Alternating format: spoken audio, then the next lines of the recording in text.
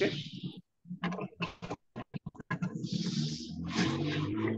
హరే కృష్ణ ఓం ప్రభు హరే కృష్ణ ఓం ఓం జ్ఞానతిమిరాంధస్య అజ్ఞానతిమిరాంధస్య జ్ఞానాంజనశలాకయా చక్షురున్మిలితం येन తస్మై తస్మై శ్రీ గురవే నమః శ్రీ చైతన్యమనోభీష్టం చైతన్యేన భూతలే భూతలే వయం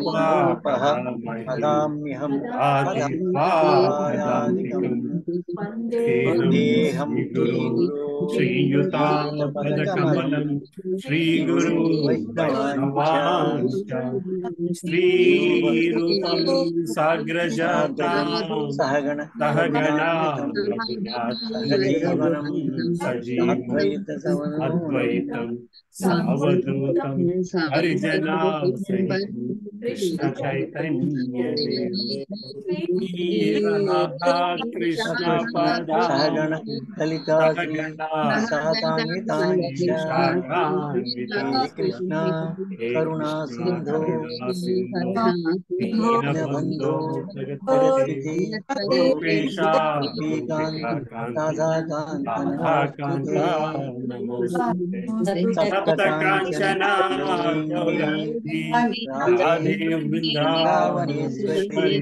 वृषभानो చైతన్య కృష్ణ పదా సహగణ కలితా సహతాన్వితాంచ కృష్ణ కరుణా సింధో దీనబంధో జగద్గురుతి సప్తకాంచనా రాధే బృందావనేశ్వరి వృషభాను నమామి కల్పతరుభ్యశ్చ కృపా సింధు పాపనేభ్యో వైష్ణవేభ్యో నమో నమః జై శ్రీ కృష్ణ చైతన్య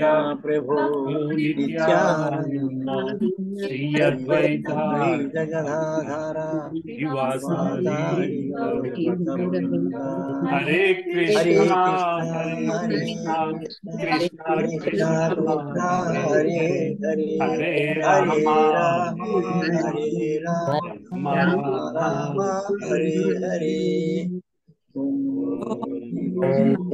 శ్రీవాసాది హరే హరే కృష్ణ కృష్ణ హరే హరే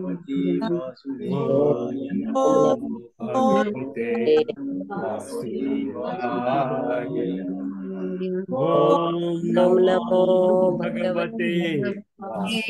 కృష్ణ కృష్ణ హరే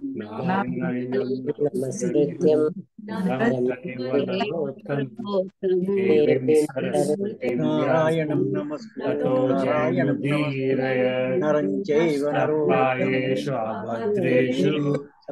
రామ రామ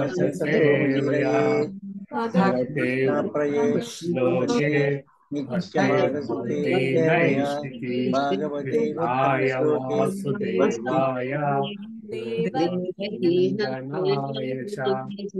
నమో భగవతే వాసుదేవాయ భగవతి వాసుదేవాయ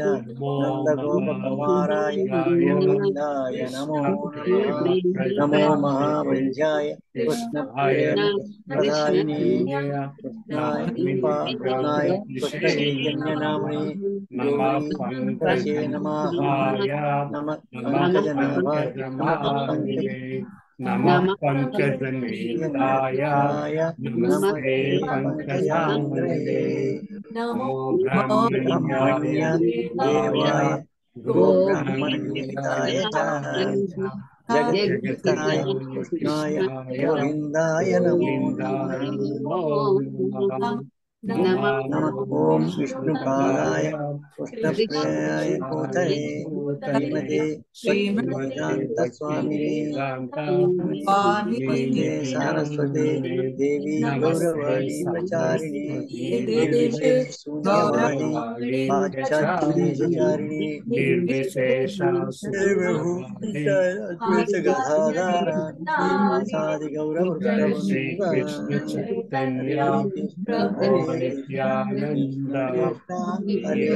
ప్రదాయిని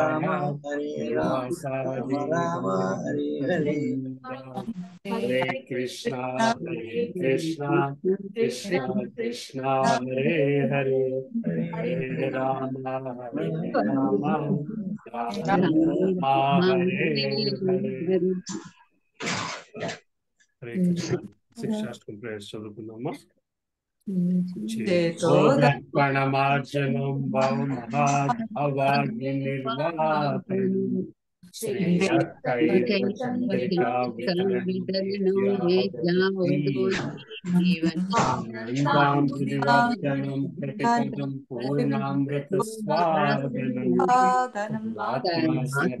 परम विजय श्री कृष्ण संकीर्तन नामकारी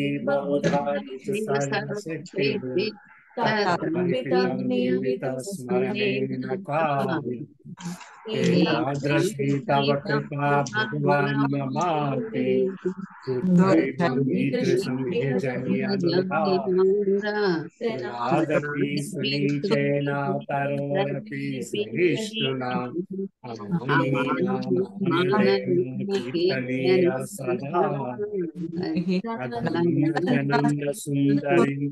రామ హరే రామ రామ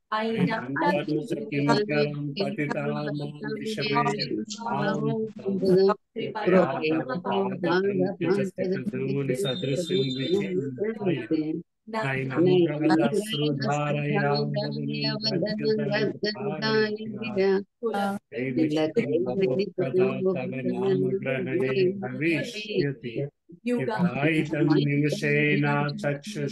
కృష్ణ కృష్ణ కృష్ణ హరే హరే హరే రామ హరే రామ రామ హరే హరే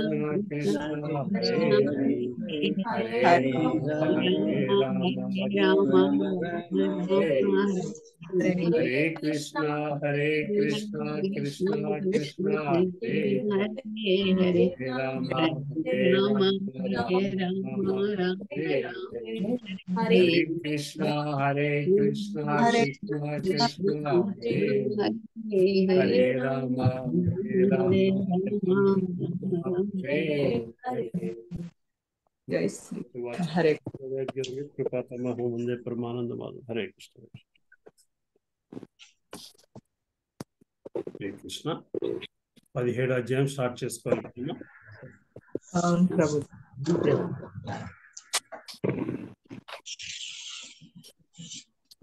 మాతాజితో స్టార్ట్ చేద్దాము.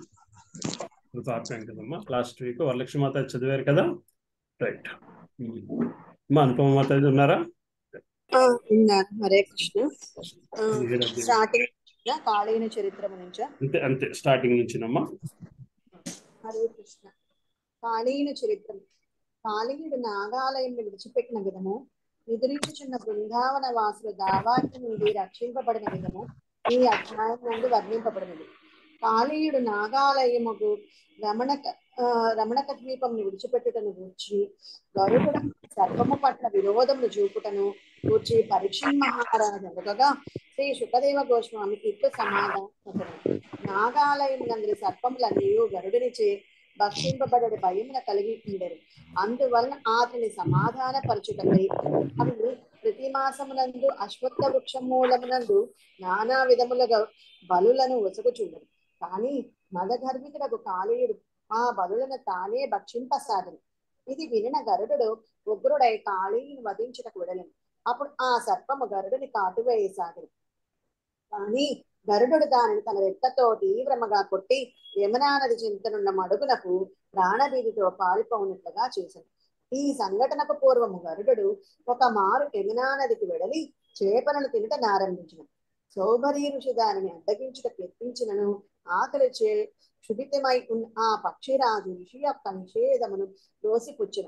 అందులకు ఆ ఋషి అచటకు మరణ వచ్చునుచో వెంటనే మరణించగలవని గరుడే చెప్పించను. కాళీయుడు ఈ విషయమును విని ఉన్నందున అచట నిర్భయముగా నివసించసాడు కానీ చివరకు ఆ సర్పము శ్రీకృష్ణుడి నుంచే తరిమి వేయబడింది శ్రీకృష్ణుడు నానా విధముల రత్నములతోనూ ఆభరణములతోని సుందరముగా అలంకృతుడై కథము నుండి బయటకు వచ్చుకుని గాంచిన బలరాముడు బృందావన వాసులు మహదానందముతో ఆతరిని ఆలింగనము చేసుకున్నారు అంతట గురువులు పురోహితులు బ్రాహ్మణులు గోపరాజుకు నందునితో పలుకుచు అతని పుత్రుడు కాళీయునిచే పట్టుబడినను అతని అదృశ్యముచే ఇప్పుడు బయటపడినాడని అనిది బృందావన వాసి ఆకలి దప్పులు అలసిటచే కాతరులైన కారణమున ఆ రేయి యమునా తీరమునందే గడిపిరి. గ్రీష్మ ఋతువు కారణమున ఎండినట్టి వనమునందు ఆ రాత్రి దావార్కి చెలరేగడం నిద్రించుచున్న బృందావన వాసులను ఆ అగ్ని చుట్టముట్టగా అకస్మాత్తుగా వారు మేలుకొని శ్రీకృష్ణుని శరణు జొచ్చిరు అనంత శక్తి సంపన్నుడకు శ్రీకృష్ణుడు అంతట తన ప్రియ బంధుమిత్రుల మిగుల పీడితులగుటను గాంచి వెంటనే ఆ ఘోరమగు దావానమును మృంగి వేసను. హరే కృష్ణ. హరే కృష్ణ. నెక్స్ట్ ఇక్కడ మాత్రం విన్నారా? సరే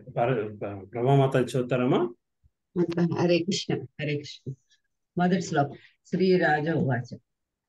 ఆ విధముగా శ్రీకృష్ణుడు కాళీని దండించిన విధమును వినిన వారే పరిషత్ మహారాజు ఇట్లా వలికను కాళీయుడు ఎందులకే నాగాలయము రమణిక ద్వీపను విడిచిపెట్టును? ఎందులకే గరుడు కేవలము ఆ సర్పములను అంతగా వైరమును పోయింది రెండు మూడు శ్లోకములు. సుఖదేవ్ గోస్వామి పలికను. గరుడిచే భక్షింపబడకుండాటికే పూర్వము సర్పములు ఆ పరిష ఆ పక్షి రాజుతో ఒక ఏర్పాటును చేసుకుని దాని ప్రకారము వాటిలో ప్రతి సర్పము నెలకు కుమారు వృక్ష మూలమును ఉపహారమును సూచనది. ఆ మహాబాహు పరీక్ష నరే పరీక్ష నరేంద్ర ఆ విధంగా ప్రతి సర్పము ఆత్మరక్షణకు వెలగా శక్తిశాలియగు విష్ణు వాహనమునకు ప్రతి మాసము ఉపహారం అర్పించుడు భాష్యం.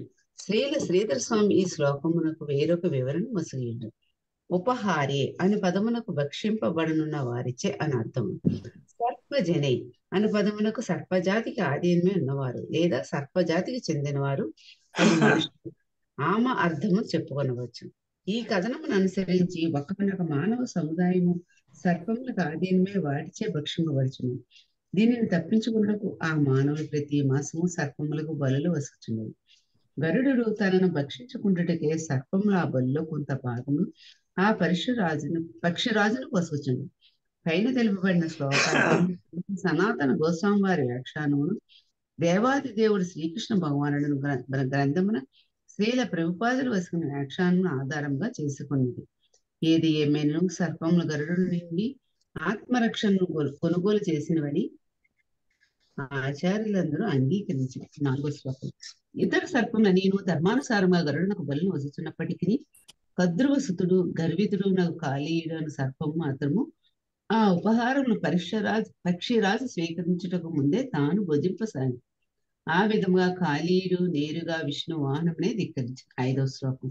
రాజా దేవదేవునకు పరమ ప్రియమైన వాడు మహాశక్తిశాలి గరుడు ఇది విని మిగులు గుద్రే కాళీయుని వదింపగోరి ప్రచండ వేగంతో దాని చెంతకు వెడలింది భాష్యం గరుడిని ప్రచండ వేగముని ఎవరును ఆపజాలని మహావేగ అని పదము సూచించినట్టు వీళ్ళ సనాతన గోస్వామి వివరించారు హరే కృష్ణ. ముందుకెళ్దామా?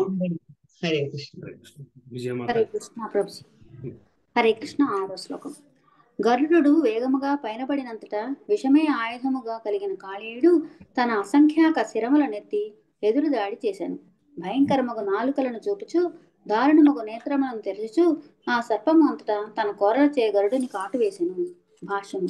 కాళీయుడు తన శత్రువుపై దూరము నుండి విషమును క్రక్కి విషాయుధమును ప్రయోగించి దగ్గరకు వచ్చినంత ఉగ్రమగు కోరలతో కాటువేసినని ఆచార్యులు వివరించిరి. ఏడవ శ్లోకం. మహోగ్రుడుగు మహోగ్రుడగు తారక్ తార్క్షుసుడు సుతుడు తార్క్షుసుతుడు ప్రచండ వేగంతో చరించి కాళీ దాడిని నివారించను. మధుసూదనుని మహాశక్తి సంపన్నమగు ఆ వాహనము పిమ్మట బంగారు కాంతులీను తన ఎడమరెక్కతో కద్రువ సుతిని కొట్టెను. ఎనిమిదవ శ్లోకం.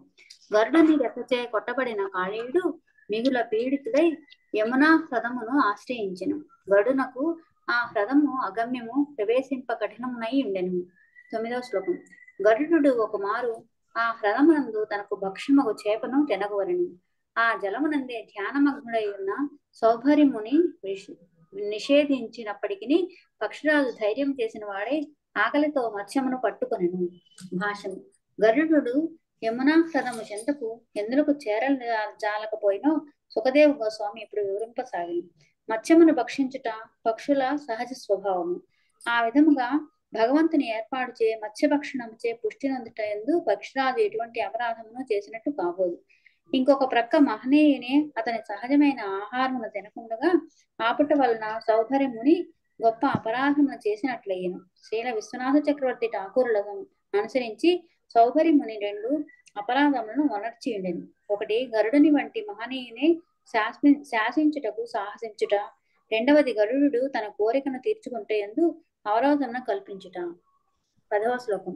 రథమునంతలి దీనములకు చేపలు తమ మత్స్యపతి మరణమునకు మిగుల దుఃఖితులవుటకును గాంచిన వాడే సౌభరముని ఆ హ్రదవాసుల క్షేమం కొరకు కృపతో వర్తించుచుంటే చుంటిననడి భావనతో ఇట్లు శాపమొసగను. భాష్యము. మన నామమాత్ర కృప భగవదాజ్ఞతో సా పొసగానప్పుడు అది కేవలము ఉపద్రవమునకే కారణమగునని ఈ సందర్భమున స్త్రీల విశ్వనాథ చక్రవర్తి ఠాకూరులు పలికిరి.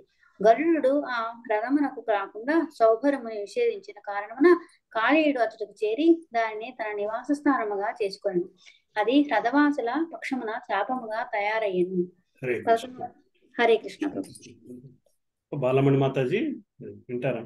ప్రభుజీ దండాత్ ప్రణామ్. ఈసారి కూడా చదవట్లేదు ప్రభుజీ నేను. చంద్రమౌళి ప్రభు చదువు పుస్తకం లేదు. హరే కృష్ణ. పదకొండవ శ్లోకం. ఆ, గరుడు మరలా ఎప్పుడైనా ఈ హృద ఈ ఈ హ్రదమున ప్రదే ప్రవేశించి ఇతర మత్స్యములను భక్షించినచో వెంటనే వర్ణింపగలడు. నేనేది పలికింటున్నో అది సత్యమే అయి ఉన్నది. భాష్యము. మేనముల పట్ల గల భౌతికాసక్తి అనురక్తి కారణంన ఆ సౌబరి ముని ఆ పరిస్థితిని ఆధ్యాత్మిక దృష్టి కోణంలో ఆ, ఆచార్యులు ఈ సందర్భంలో వివరించారు. ఈ అపరాధం వలన కలిగిన అతని పతనమును గూర్చి శ్రీమద్ భాగవతనందలి నామస్కందమున వివరింపబడినవి. మిథ్యాహంకారంచే అతడు తవశక్తిని దాంతోపాటు ఆధ్యాత్మిక సౌందర్యమును సుఖమును కోల్పోయాను ఆ గురుడు గరుడు ఆ యమున తటను చెంతకు వచ్చినప్పుడు శబరిముని తనలో తాను ఓ పక్షి దేవదేవుని నిత్య నిత్య అయినప్పటికీ దీన్ని సా దీన్ని శపించను. ఒకవేళ నా ఆజ్ఞను ఉల్లంఘించినట్లు దీన్ని వధించుటకైనను వెనుదీయము వెనుది వెనుదీయను అని తలపోసెను. మహోన్నతుడు వైష్ణవుని ఎడ ఎట్ట? వైష్ణవుని ఎడ అట్టి అపరాధ వైఖరి నిక్రమగా జీవితం నందలే మంగళమయ స్థితిని ధ్వంసము చేయగలదు. సౌబరిముని పలువురు సౌందర్యవతులను పరిణయమాడి వారి సాంగత్యమును గొప్ప కష్టం అనుభవించట నమస్క నవమస్కందమున వర్ణింపబడినది. కానీ బృందావనందలి యమునా నదిని ఆశ్రయించి ఒకనొకప్పుడు ప్రభావశీలుడైన కారణమున తొట్ట తుదుకాతుడు మోక్షమును పడిచెను పన్నెండవ శ్లోకం. సర్పములన్నింటిలోనూ కేవలము కాళీయుడే ఈ వృత్తాంతముగా నెరిగి ఉండను. అందువలన గరుడిని భయముంచే ఆ సర్పము యమునా ఆ, యమునా హృదమును నివాసముగా చేసుకొను వెంబట శ్రీకృష్ణుడు దాన్ని దాన్ని అచ్చటి నుంచి వెడలగొట్టను పదమూడు పద్నాలుగు. ఆ, కాళీయదమున వర్ణన మరలా ఆరంభించు సుఖదేవ గోస్వామి ఇట్లు పలికను. శ్రీకృష్ణుడు దివ్యమా దివ్యమాలాగంధములను ఆ, మహామణి ఖచ్చితమ్మకు వస్త్రమును ధరించి సువర్ణభూషితుడే ప్ర రథము నుండి బయలుదేర బయలు బయలువేడ బయలువేడలేను. గోవులు కృష్ణుని గాంచినంతటా ప్రాణములను పొందిన ఇంద్రియముల వలె వెంటనే లేచి లేచి నిలబడి పరమానందంతో నిండిన వారే అనురాగంతో అతన్ని ఆలింగనం చేసుకొని హరే కృష్ణ. హరే కృష్ణ. చదువుతారమ్మా ఆ, హరే కృష్ణ. హరే కృష్ణ. పదిహేనవ శ్లోకము. యశోద రోహిణి నందనుడు నందుడు ఇతర గోపీగణము గోప గోపీగణము ప్రాణములు తిరిగి పొందిన వారే లేచి కృష్ణ చెంతకు ఎగిరి ఓ కురువంశీయుడ చివరకు ఎండిన వృక్షములు కూడా పునర్జీవనం పొందినవి. పదహారు. బలరాముడు అచ్యుతుని ఆలింగం చేసుకొని అతని ప్రభావం ఎరిగిన వాడే అతని ప్రభావం ఎరిగిన వాడే నవ్వెను. రామవశమున బలదేవుడు అంతటి కృష్ణ ఒళ్ళోని తీసుకొని పదే పదే అతని ముఖమండలములను వీక్షింపసాగను. గోవులు వృషభములు దూడలు కూడా అమితానందం పొందినవి. పదిహేడు. గౌరవనీయుల బ్రాహ్మణులు తమ పుత్రులతో కూడా ముందుకు వచ్చి నందుని అభినందించుచు నీ పుత్రుడు కాళీయులచే పట్టుబడినను దైవోసమని ఇప్పుడు ముక్తుడైనాడు అని పలికి పద్దెనిమిది నీ పుత్రుడు కృష్ణుడు సదా ప్రమాదరహితుడై ఎండునట్లు అభిమను పొందుటకు బ్రాహ్మణులకు దా దానమనిమ్ము అని అంత బ్రాహ్మణులు నందునికి సలహా ఇచ్చింది. రాజా సంతుష్టచితుడైన నందుడు పెద్ద మహదానందముతో వారికి గోసువర్ణములు దానమిచ్చాను. పంతొమ్మిది మహాభాగ్యవతి యశోద కోల్పోయిన తన పుత్రి తిరిగి పొందేదే అతన్ని ఒళ్ళోకి తీసుకొని పదే పదే ఆలింగనం చేసుకొనుచు అశ్రుతాలను కాసాగాను ఇరవై. ఓ రాజేంద్ర పరీక్షిన్ మహారాజా బృందావన వాసులు ఆకలి దప్పులచే శ్రమ చేయాల్సిన కారణమున వారు గోవులు కాళింది తటను సైనించి ఆ రాత్రి అచ్చటనే గడిపరి భాష్యము. బృందావన వాసులు ఆకలి దప్పుల చేసినప్పటికీ అచ్చట ఉన్న గోవుల నుండి లభించే క్షీరము త్రాగలేదని వేల దేవగోస్వామి తెలిపిరి ఆ క్షీరము సత్వవిషముచే దూషితమై ఉండదని వారు భయపడరు ప్రియతముడు శ్రీకృష్ణుని తిరిగి పొంది వారెంత ఆనందించర ఆనందించరగా తమ ఇండ్లకు కూడా వారు వెళ్ళగోరలేదు. కృష్ణుతో పాటు యమునా తటమును నిందే నిలిచి ఉండి అతన్నే వారు నిరంతరము చూడగోర్రే. ఆ విధముగా నదీ తటమునందే వారు విశ్రాంతి గైకొనటకు నిశ్చయించుకున్నారు హరే కృష్ణ. చదవరండి అతను. హరే హరే ప్రభుజీ. హరే కృష్ణ. ప్రభుజీ. ఇరవై ఒకటో శ్లోకము. బృందావనవాసులు నిద్రించుచుండగా మధ్యరాత్రి గ్రీష్మకాలము ఎండిన వనమునందు మహాదావాగ్ని చెలరేగను. ఆ దావానలము ప్రజవాసులను ప్రజవాసులను చుట్టుముట్టి వారిని తప్పింపజొచ్చాను. భాష్యము కాళీయుని యొక్క విశ్వసనీయ మిత్రుడు తన స్నేహితుని పక్షమున ప్రతీకారం తీర్చుకొనుటకు దావాగ్ని రూపమును దాల్చి ఉండవచ్చునని లేదా కంసుని అనుయాయులకు అనుయాయుడగు ఒక అసురుడు దావానలమును రగిలించి ఉండవచ్చునని శ్రీల సనాతన గోస్వామి శ్రీల విశ్వనాథ్ చక్రవర్తి ఠాకూర్లు వ్యాఖ్యానించి ఇరవై రెండు. అప్పుడు బృందావన వాసులు మేల్కొని వారి తాము దగ్ధం చేయన చేయుచున్నట్టి మహాగ్నిచే మిగుల కలవరపడి మాయా మనుష విగ్రహ విగ్రహుడగు శ్రీకృష్ణ శరణు జచ్చరి. భాష్యము. స్వరూపభూతముగా నిత్యశక్త మాయా మాయాఖ్యయ భగవంతుని నిత్యశక్తి యొక్క మాయ అతన్ని ఆది రూపమునందు స్వభావ సిద్ధముగా ఉన్నది అని శృతులు తెలిపిన తెలిపిన తెలిపినవి. ఈ విధముగా దేవదేవుని నిత్య ఆధ్యాత్మిక దేహమునందు అపరిమిత శక్తి నెలకొని ఉన్నది. పర పరతత్వం యొక్క సర్వజ్ఞ సర్వజ్ఞము ఇచ్చ అనుసరించి ఆ శక్తి ఆ అనాయాసముగా సమస్త సృష్టి కార్యమును కొ- కొనసాగుచున్న కొనసాగించును. ఈ బాలుడు నిక్కముగా భగవంతునిచే శక్తిని బడిసిన వాడే మమ్ము కాపాడగలడు అని తలచుచూ బృందావన వాసులు శ్రీకృష్ణుని చల శరణు తెచ్చిరి అనేక सर्वदुर्गाणि यूयम् अञ्जस्तरिष्यधा ఇతని శక్తి చే మీరు సర్వ విఘ్నములను సులభంగా దాటగలరు. అని కృష్ణ నామకరణోత్సవమునందు గర్గముని పలికిన వాక్కులను వారు గుర్తు చేసుకున్నది అందువలన కృష్ణుని యందు పూర్ణ విశ్వాసము కలిగినట్టి బృందావన వాసులు దావాగ్నిచే ఉత్పన్నమైనట్టి మా మహావిపత్తు నుండి బయటపడుటకు శ్రీకృష్ణుని ఆశ్రయించిరి. ఇరవై మూడు. బృందావన వాసులు పలికరి. కృష్ణ కృష్ణ మహాభాగ అమిత విక్రమ సంపన్నుడు రామ నీ వారమగు మమ్ము ఈ ఘోర ఈ ఘోర దావాగ్ని కబళించుచున్నది. ఇరవై నాలుగు. దేవా మేము నీ నిజమైన బంధువులము భక్తులము. దయచేసి మమ్ము నీ ఈ దు దుస్తరమగు ద కాలాగ్ని నుండి రక్షింపుము. సర్వ భయ హరమగు ఇన్ని పాద పద్మములను మేమెన్నడనూ విడవజాలము. భాష్యము. ఈ భయంకరమగు అగ్నిమమ్ము కబళించినచో మేము నీ నీ పాదపద్మముల నుండి దూరమగుదుము. అది మాకు దుస్సహనమై దుస్సహమైనది. కనుక నీ పాద పద్మ సేవను మేము కొనసాగించినట్లుగా మమ్మ రక్షింపుము అని బృందావన వాసుల శ్రీ శ్రీకృష్ణుతో పలికిరి.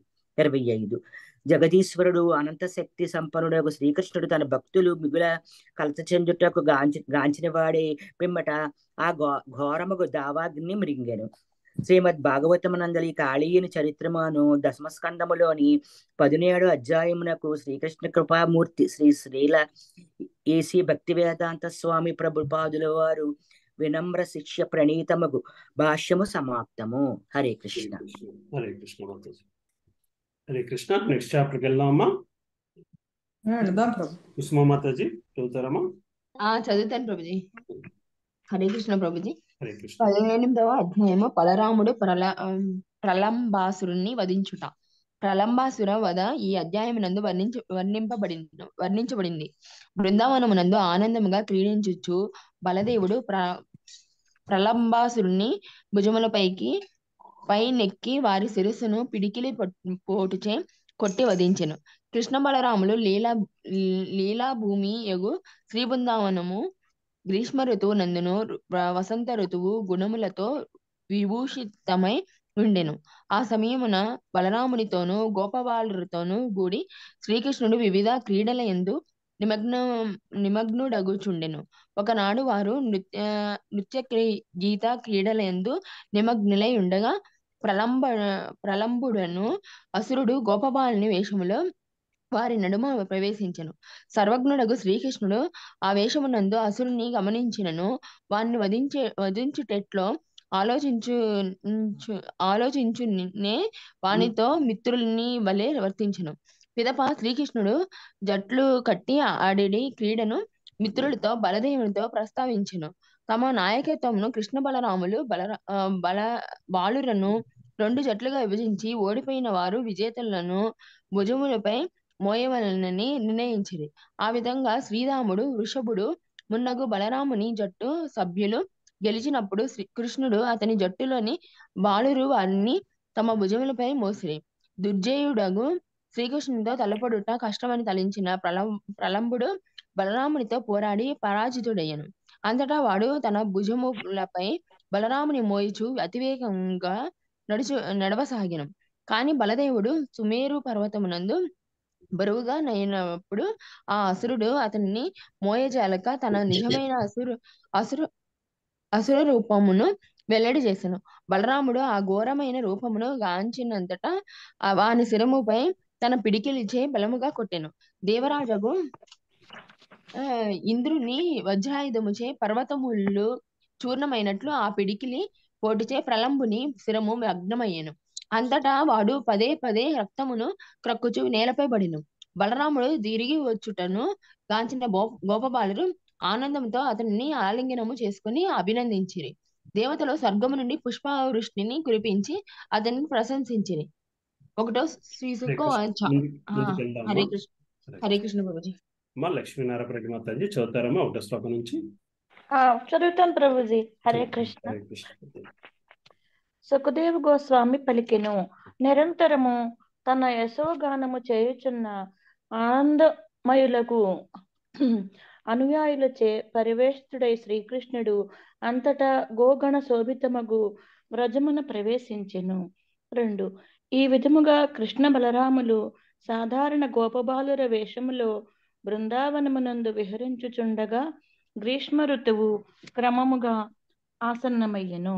దేహదారులకు దేహదారులకు ఆ ఋతువు ప్రియకరము కాదు. భాష్యము. దేవాది దేవుడు శ్రీకృష్ణ భగవానుడు అనడి గ్రంథమునందలి పదినెనిమిదవ అధ్యాయమున స్త్రీల ప్రభుపాదులు ఇట్టు వ్యాఖ్యానించిరి. అధిక ఉష్ణము కారణమున భారతదేశమునందు ఎండాకాలము అంతగా ప్రియ ప్రియకరమైనది అంగీకారమైనది కాదు. కానీ బృందావనమునందు గ్రీష్మ ఋతువు వసంత ఋతువు వలె గోచరించిన కారణమున ఎల్లరూ మొదమంది ఉండిరి మూడు. అయినను సాక్షాత్తుగా దేవదేవుడే బలరామునితో గూడి బృందావనమునందు వసించిన కారణమున గ్రీష్మ ఋతువు వసంత ఋతువు లక్షణములను ప్రదర్శించెను. బృందావన భూమి గుణమే అటువంటిది. నాలుగు. బృందావనమునందు కీచురాళ్ళ శబ్దము జలపాత ధ్వనిచే కప్పబడి ఉండి కప్పబడిపోయెను. ఆ జలపాతముల నుండి ఎగసెడి నీటి తుంపరచే నిరంతరము తడిసెడి వృక్షమండలము ఆ ప్రాంతమునంతటిని శోభాయమానము కావించెను. భాష్యము. గ్రీష్మ ఋతువు నందును బృందావనము వసంత ఋతువు ఋతువు లక్షణములను ఎట్లు ప్రకటించెనో? ఈ శ్లోకము రాబోవు మూడు శ్లోకములు వర్ణించుచున్నవి. ఐదు. సరోవరములు నదులు మున్నగు వాని యొక్క తరంగములను సృజించుచు వీచడి వాయువు పద్మక పద్మక్లహరము వంటి పలు పుష్పముల ఉప్పడిని గూడి వీచుచు బృందావనమునంతటినీ చల్లబరుచుచుండెను. ఆ విధముగా బృందావన వాసులు గ్రీష్మకాల ప్రచండ సూర్యుని వలన దావాగ్నుల వలన తాపము చెందలేదు. నిజముగా బృందావన భూమి పచ్చని గడ్డితో నిండి ఉండెను.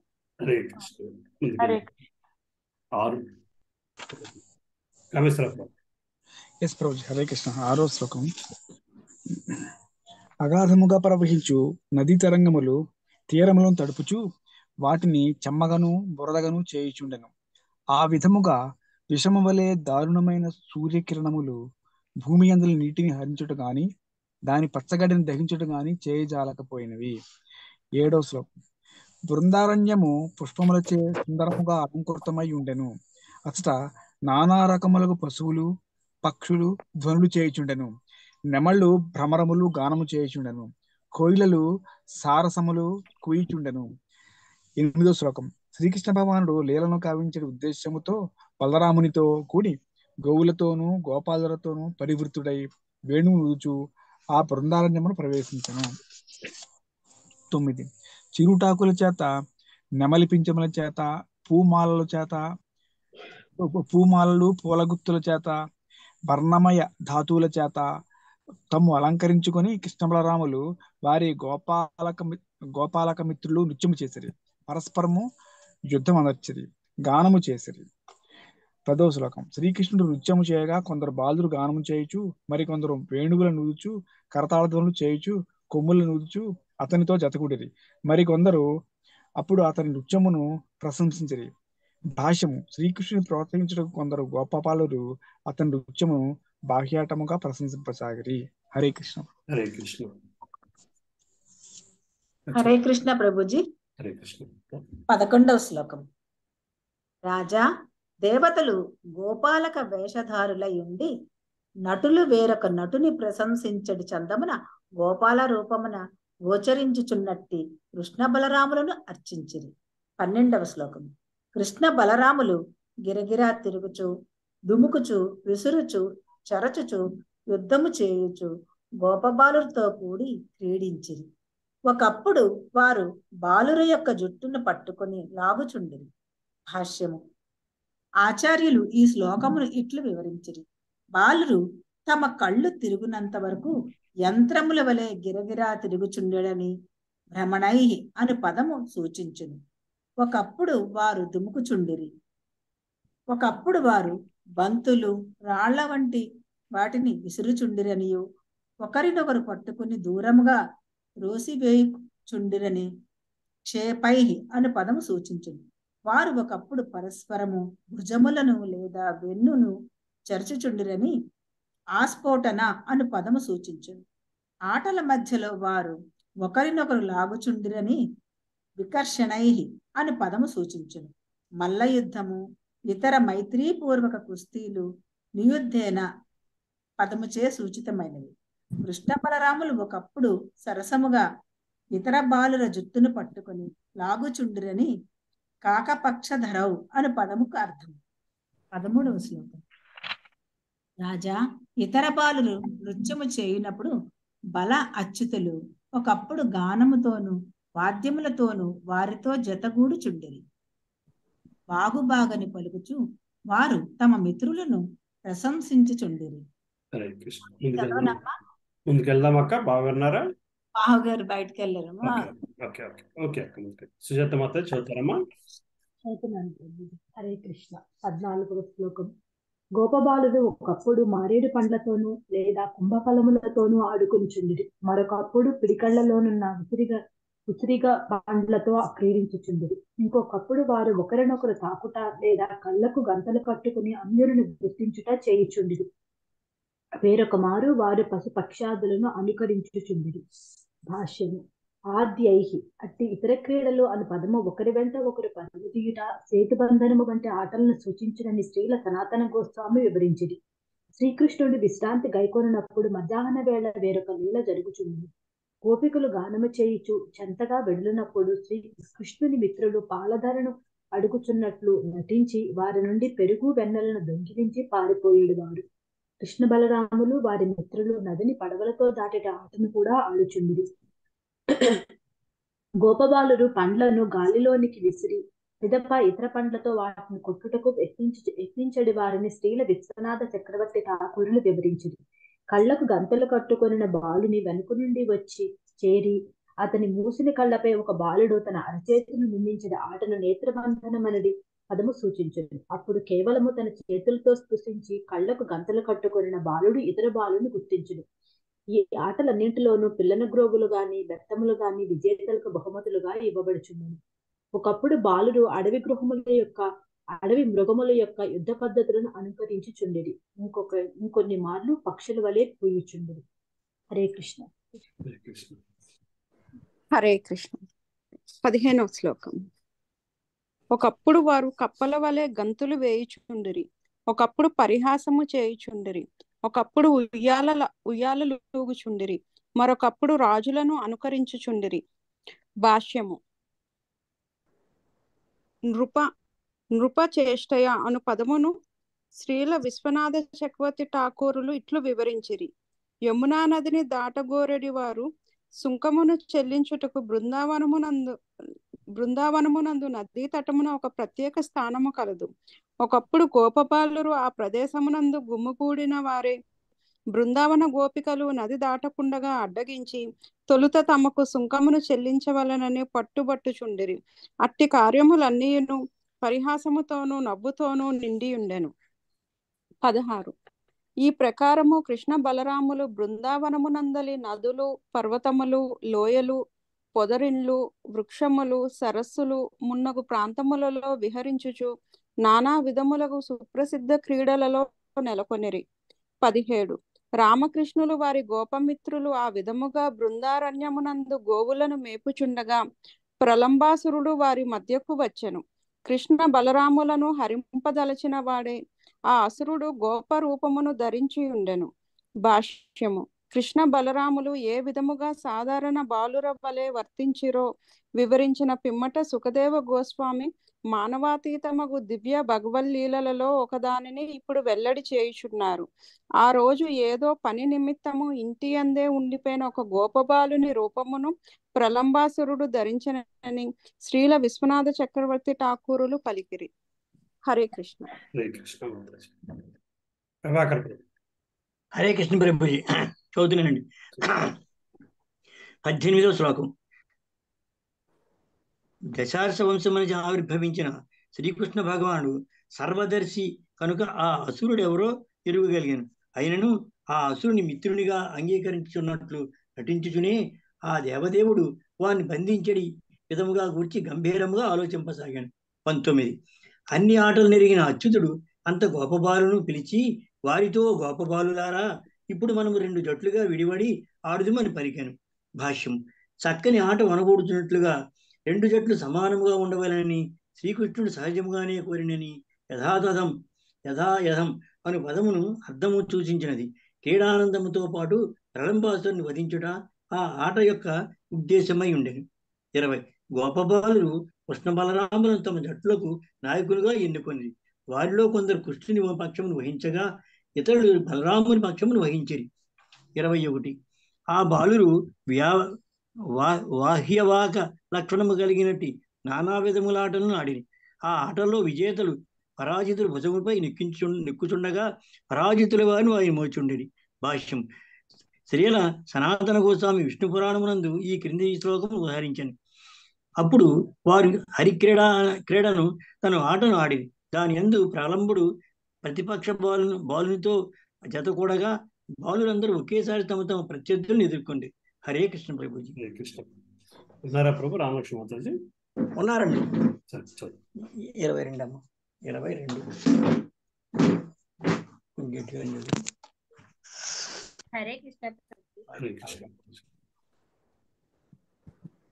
ఈ విధముగా మోయుచు ఇతరులచే మోయబడుచు. అదే సమయమున గోవులను మోపుచు. గోపబాలుడు కృష్ణుని అనుసరించిన వారే బాండి రకమును వటవృక్షము చెంతకు చేరిరి. భాష్యం వటవృక్షమును వర్ణించడి శ్లోకములను శ్రీల సనాతన సనాతన గోస్వామి శ్రీహరివంశము శ్రీహరివంశం నుండి ఇట్లు ఉదహరించిరి. అనే పొడవైన శాఖలను కలిగిన సర్వోత్తమగు వృక్షమును వారు గాంచిరి. ఆకులచే దట్టముగా కప్పబడినదే. అది ధరణిపై ఆసీనమైన మేఘమును బోలెను.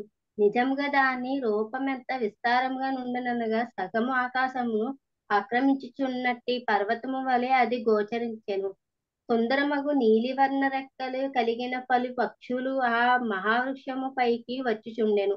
ఆ వృక్షము యొక్క దట్టమైన ఫలపత్రమును దాన్ని ఇంద్రధనస్సును కలిగిన మేఘము వలెను లేదా పుష్పతలచే అలంకృతమైన గ్రహము వలెను కనబడినట్టు చేసెను. దానిని విశాలమగు వేళ్ళు లోతుగా విస్తరించినవై ఉండెను. అది పవిత్రమగు మేఘమండలమును తనపై మోయిచుండెను.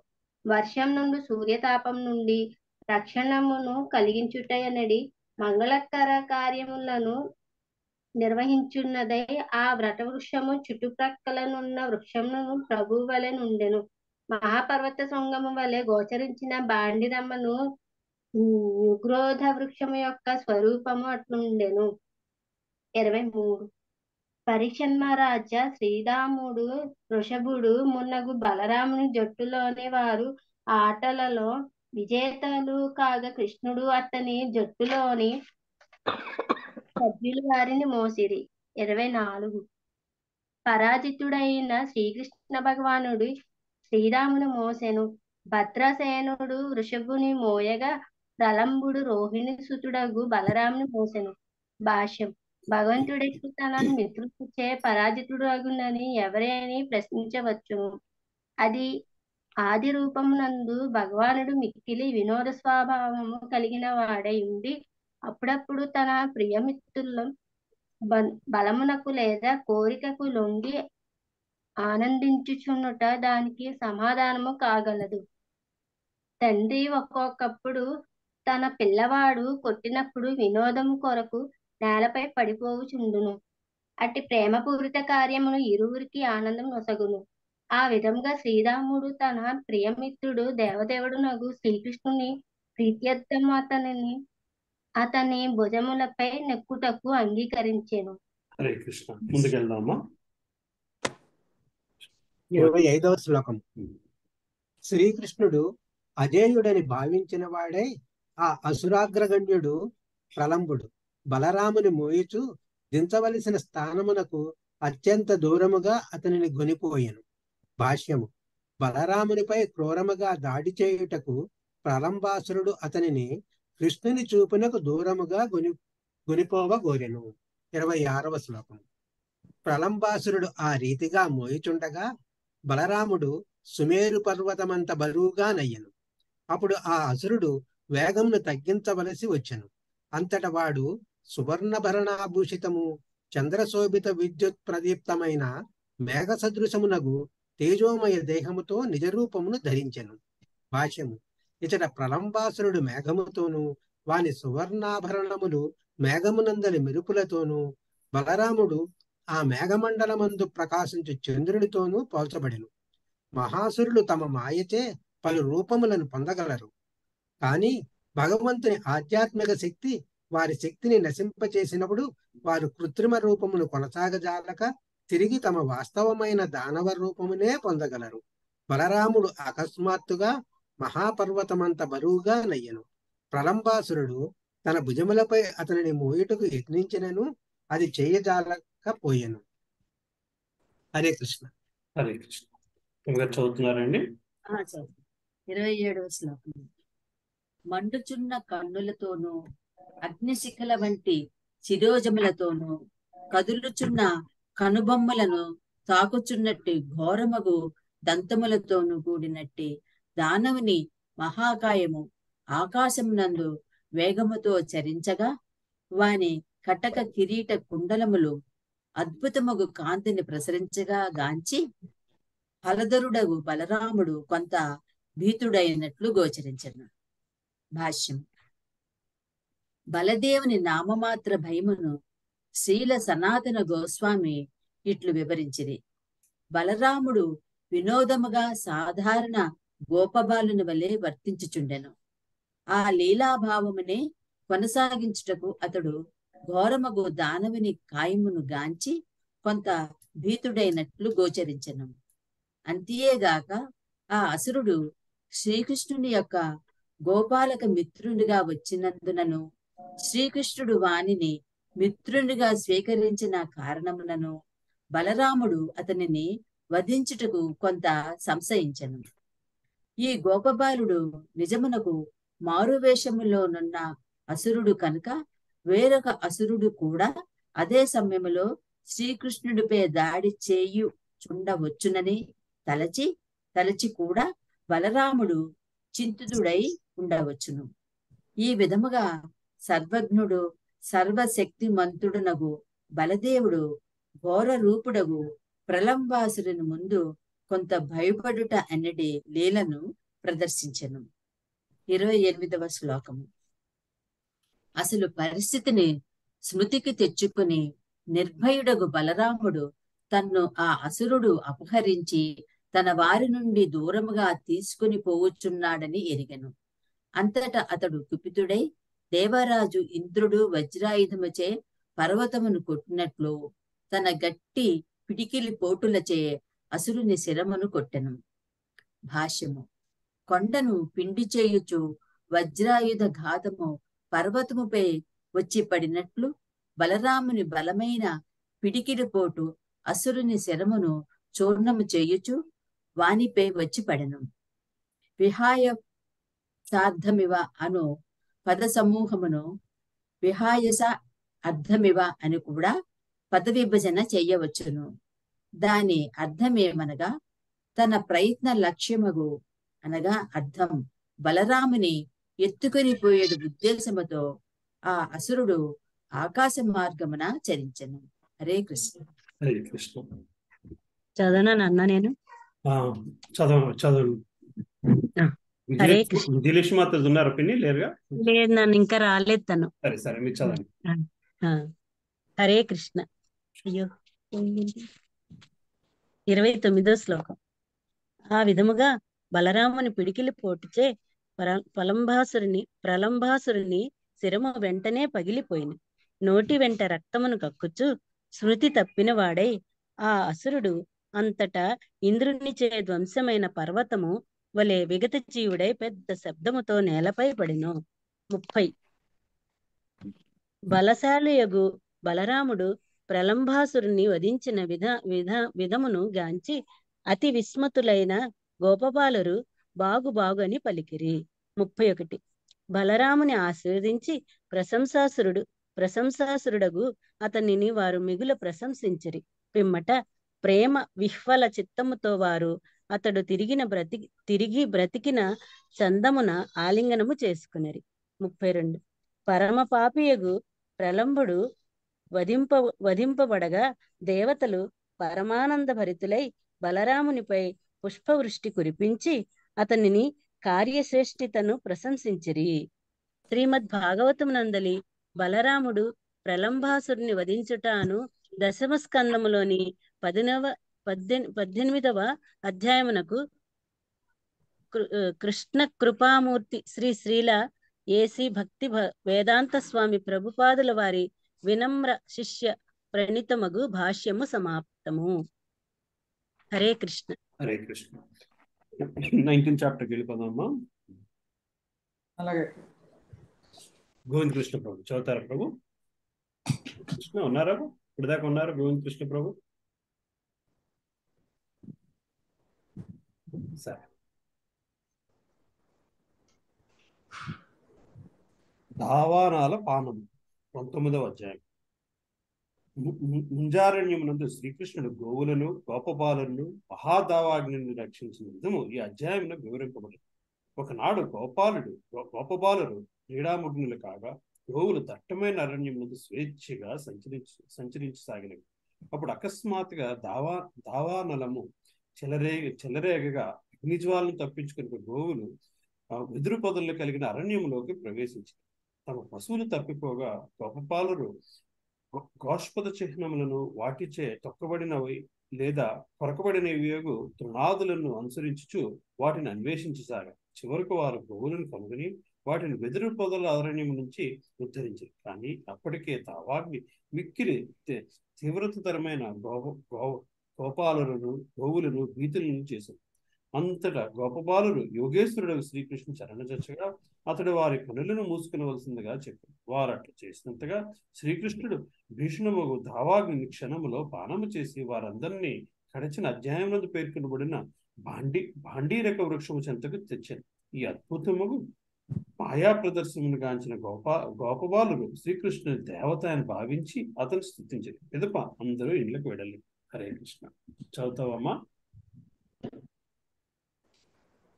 చదువుతున్నానమ్మా? హరే కృష్ణ నిమిషం అదే పక్కకు వస్తుంది.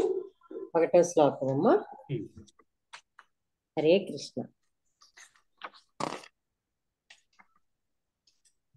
నైన్టీన్త్ చాప్టర్ పెట్టండి ప్రభుజీ.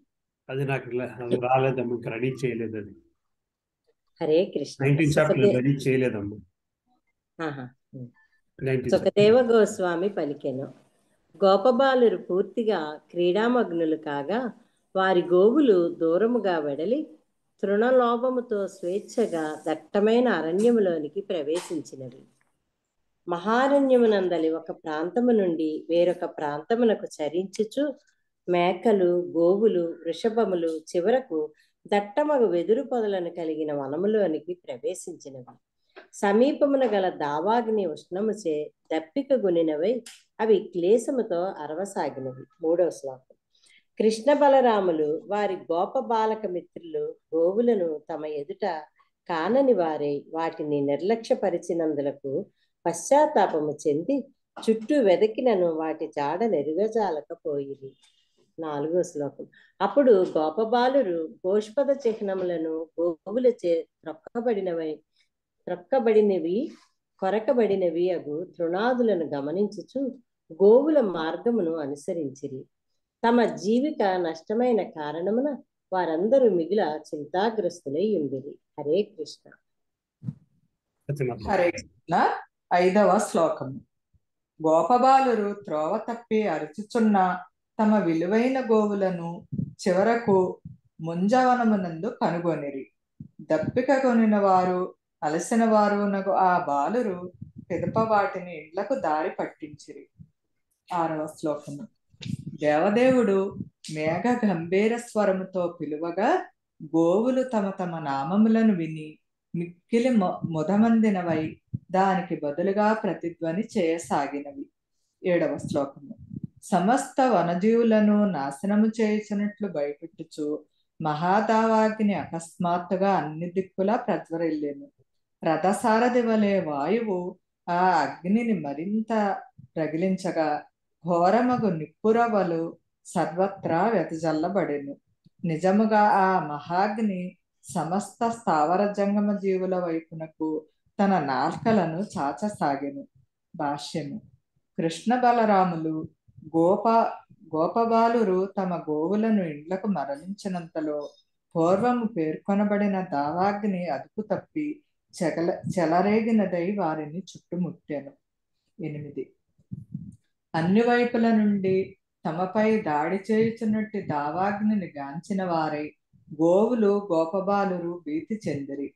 మృత్యుభయముచే కలత చెందిన వారు దేవదేవుని ఆశ్రయించినట్లు గోపబాలురు అంతట కృష్ణ బలరాములను ఆశ్రయించి వారిని ఉద్దేశించి ఇట్లు పలికిరి. తొమ్మిది. ఓ కృష్ణ కృష్ణ మహావీరుడా అమోఘ విక్రము విక్రమము గల బలరామ ఈ దావాగ్ని చే దగ్ధము కానున్న వారము. మిమ్మ ఆశ్రయించు వారము నగు మమ్ము రక్షింపము. హరే కృష్ణ. హరే కృష్ణ. సుధామాతాజీ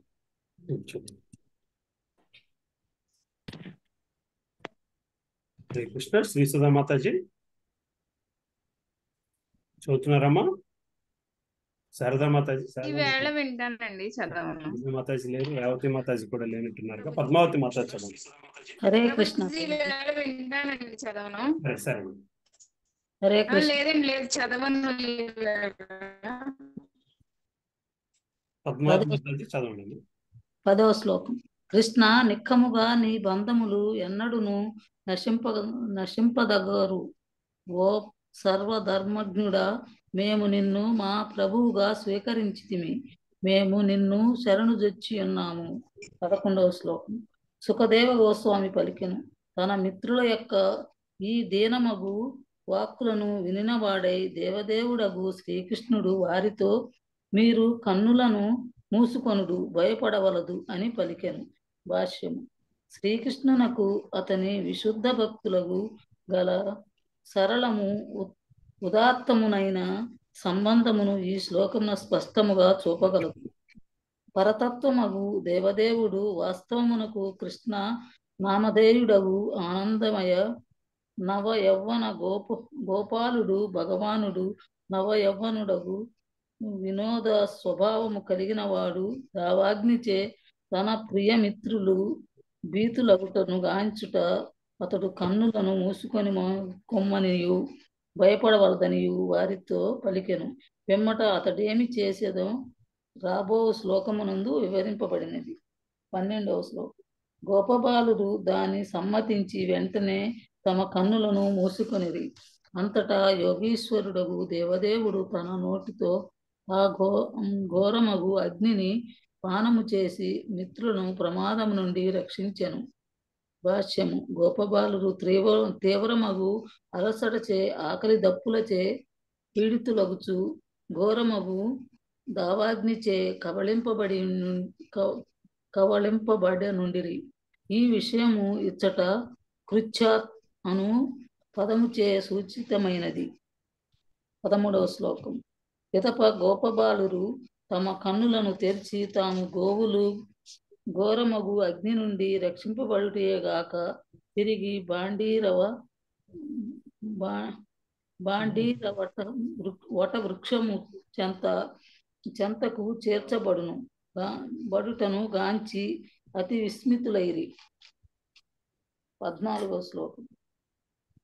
కృష్ణు శ్రీకృష్ణుని యోగమాయచే ప్రకటమైనట్టి యోగశక్తిచే తాము దావానలము నుండి రక్షింపబడుటను గాంచినంతట గోపబాలుడు అతడు దేవత అని తలచిరి. భాష్యము. బృందావనమునందలి గోపబాలుడు శ్రీకృష్ణుని తమ ఏకైక మిత్రుని గను ఏకైక మిత్రుని గను కేవలము పూజా ధ్యేయం ధ్యేయమగును ప్రేమించుయుండిరి. వారి పారస్ పారవశ్యమును వృద్ధి చేయుటకు శ్రీకృష్ణుడు తన యోగశక్తి యోగశక్తిని వారికి ప్రదర్శించి ఘోరమగు దావానలము నుండి వారిని రక్షించెను. శ్రీకృష్ణునితో గల ప్రేమయుతమగు పారవశ్య స్నేహమును గోపబాలురు ఎన్నడూను విడిచిపెట్టజాలరు. అందువలన శ్రీకృష్ణుని భగవంతునిగా భావించుటకు బదులు అతని అసాధారణ శక్తిని గాంచిన పిమ్మట వారతడు ఒక దేవత అయ్యుండవచ్చునని తలచిరి. కానీ శ్రీకృష్ణుడు వారి ప్రియమిత్రుడు ప్రియతము ప్రియతమ మిత్రుడు కనుక వారు కూడా అతని స్థానం స్థాయిలోనే ఉన్నట్టి వారు ఆ- విధముగా తాము కూడా దేవతలమనియే కలిసి గోపబాలురందరూ ఆనంద పరవశులైరి. పదిహేనవ శ్లోకం. అప్పటికే సాయంకాలము అయినందున బలరామునితో కూడి శ్రీకృష్ణుడు తమ గోవులను ఇంటికి మరలించెను తన యశ్ యశోగానము చేయుచున్నట్టి గోపబాలులతో కలిసి వేణువును ఒక విశేష పద్ధతిలో మ్రోగించుచు శ్రీకృష్ణుడు వ్రజమునందు ప్రవేశించెను. పదహారవ శ్లోకం. శ్రీకృష్ణుని వియోగము క్షణమైనను నూరు యుగముల వలె తోచినందున గోపికలు గోవిందుడు గృహమునకు తిరిగి వచ్చుటను గా- గాంచిన వారై పరమానంద భరితులైరి భాష్యం. గోపబాలురును దావానలం నుండి రక్షించిన పిమ్మట శ్రీకృష్ణుడు గోపికల విరహ విరహనలము నుండి కాపాడెను. రాధిక రాధికాది గో గోపికలు శ్రీకృష్ణుని ఎడ అమిత ప్రేమను కలిగి ఉండిరి. అతని విరహములో క్షణకాలమైనను వారికి లక్షల కొలది సంవత్సరముల వలె తోచెను. గోపికలు పరమ భక్తురాండ్రు. శ్రీకృష్ణునితో వారి విశేష లీలలు ఈ గ్రంథమునందరి తదుపరి వర్ణించబడినవి. శ్రీమద్ భాగవతమునందలి దావానల పానము అను దశమస్కందములోని పంతొమ్మిదవ అధ్యాయమునకు కృష్ణ కృపామూర్తి శ్రీ శ్రీల ఏసి భక్తి వేదాంత స్వామి ప్రభుపాదుల వారి వినమ్ర వినమ్ర శిష్య ప్రణి ప్రణితమగు భాష్యము సమాప్తము. హరే కృష్ణ. హరే కృష్ణ మాతాజీ వరలక్ష్మి హరే మాట్లాడండి కృష్ణ ప్రభుజీ. చెప్పండి. ఇందులో కాళీ మర్దనం తర్వాత దావానలం వచ్చింది. ప్రలంబాసుని మత తర్వాత కూడా వచ్చిందా ప్రభుజీ? రణంబాసుని వధి వధించిన తర్వాతనే వచ్చిందమ్మా ఈ దావానల పానము. కాళీని చరిత్రలో కాళీని మర్దించిన తర్వాత దావానలం వచ్చింది అన్నట్టు చూసుకుంటాను నాకు బుక్ లేక కన్ఫ్యూజన్ ఇందాక పెట్టారు కదా దాంట్లో. అదే చూడండి ఇప్పుడు ఆర్డర్లో చాప్టర్స్ ఆర్డర్ చూస్తే మీరు కాళీయం చరిత్రము తర్వాత బలరాముడు కూడా కొంచెం దావా వస్తుంది. వాళ్ళందరూ నిద్రిస్తుంటే గోపాలు గోపికలు అందరూ నిద్రిస్తుంటే వస్తుంది కదండి. వేరు. అది వేరే దావా ఇది వేరు ఇది అరణ్యం మండడము అది కాళింగుడి వల్ల వచ్చిన వేడి వేడి వల్ల వచ్చినది. హరే కృష్ణ ప్రభు. హరే కృష్ణ వరలక్ష్మి హరే కృష్ణ వరలక్ష్మి మాతాజీ చదవండి. ఇరవై చాప్టర్ స్టార్ట్ చేసుకుందాం ఇరవై ఐదవ అధ్యాయము. బృందావనమున వర్ష. శరదృ- శరదృతువులు.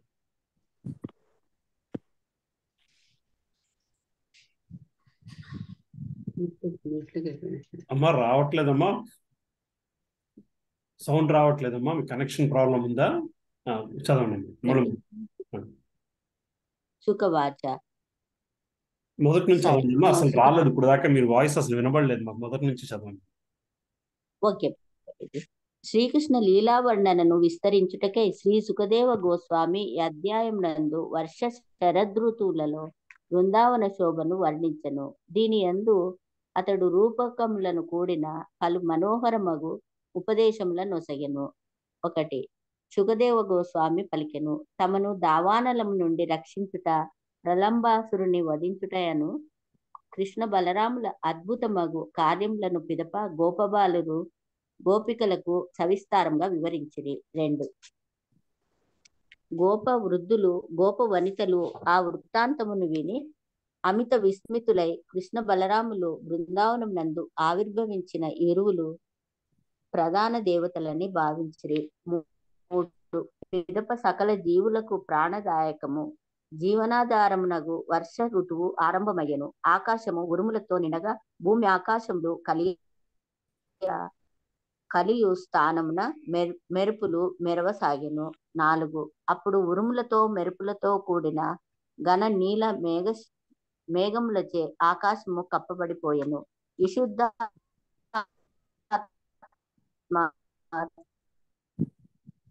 త్రిగుణములచే కప్పబడిన నిజముగా ఆత్మమయు భాష్యము మెరుపులు సత్వగుణంతోను ఉరుములు రజోగుణంతోను మేఘములు తమోగుణముతోను పోల్చబడును. ఆ విధముగా వర్ష ఋతువు ఆరంభమైనంతటా గోచరించటి మేఘావృతమగు ఆకాశము త్రిగుణములతో కలత చెందిన విశుద్ధాత్మను బోలును.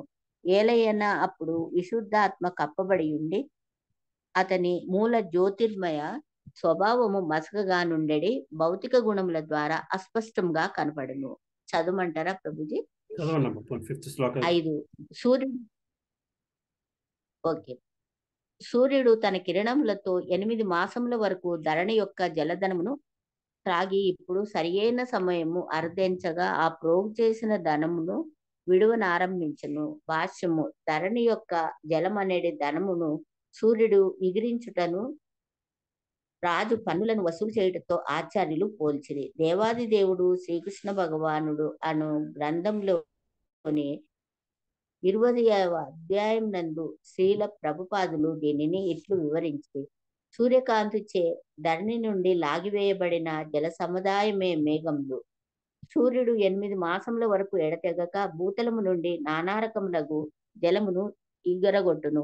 ఆ జలమే మేఘరూపమున ప్రోగుపడి అవసరమైనప్పుడు తిరిగి వర్ష రూపమున విడవబడును. అట్లే ప్రభుత్వము పౌరుల నుండి నానా రకములగు పన్నులను తీసుకొనుచుండును. వ్యవసాయము వాణిజ్యము ఉత్పత్తి మున్నగు వివిధ కర్మల ద్వారా పౌరులు ఆ పన్నులను చెల్లింప సమర్థులై ఇందురు ఈ విధంగా ప్రభుత్వము ఆదాయపు పన్ను అమ అమ్మకపు పన్ను వంటివి కూడా రాబట్టుచుండును.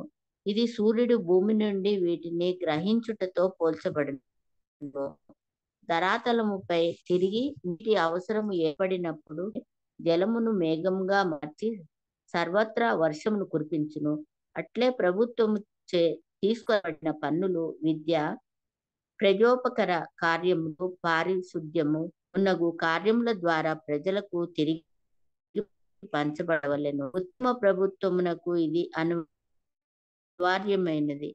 అనవసరంగా దుర్వ్యయము పన్నులను తీసుకొనరాదు. పన్నులను దేశ జన దేశ జనుల సంక్షేమం కొరకై తప్పక వినియోగించవలెను. హరే కృష్ణ ప్రభుజీ. హరే కృష్ణ ప్రభుజీ. హరే కృష్ణ మాతాజీ. అనుపమ మాతాజీ చదువుతారమ్మా హరే కృష్ణ. ఆరో శ్లోకం మెరుపులతో కూడిన మేఘములు ప్రబలమగు వాయువు చే కంపించినవై రోసివేయబడుచు కర కరుణాపూర్ణులకు జనుల వలె లోకము యొక్క ఆనందము కొరకు తమ ప్రాణములను అర్పించినవి భాష్యము. సంఘ సౌఖ్యము కొరకు మహనీయులకు కరుణామూర్తులు కొందరు ఒకప్పుడు తమ ప్రాణమును లేదా సంపత్తులను త్యజించు రీతి వర్షాకాల మేఘములు ఎండిన భూమిపై వర్షమును కురిపించినవి. ఆ విధముగా మేఘములు చెదిరిపోయినప్పటికీ ధరణి యొక్క సౌఖ్యము కొరకు స్వేచ్ఛగా వర్షములు కలుగు చేసినవి దేవాది దేవుడు శ్రీకృష్ణ భగవానుడు అను గ్రంథముల శ్రీల ప్రతిపాదులు ఈ శ్లోకము ఇట్లు వ్యాఖ్యానించి వర్షాకాలం నందు ప్రబలమగు వాయువులు దేశమంతటా తీవ్రమగు వీచుచు తీవ్రముగా వీచుచు మేఘములను ఒక చోట నుండి వేరొక చోటకు కొనిపోయి వర్షమును కురిపించు గ్రీష్మ ఋతువు పిమ్మట జలము అవశ్యముగా అవసరమైనప్పుడు మేఘములు అవసర కాలం నందు తన కోశాగారమును ఖాళీ చేసి అయినను ధనమును పంచడి ధనవంతుల వలె పనిచేయను ఆ ప్రకారము మేఘములు ధనాతలమంతటను జలమును వర్షించి తాము ఖాళీ అయినవి.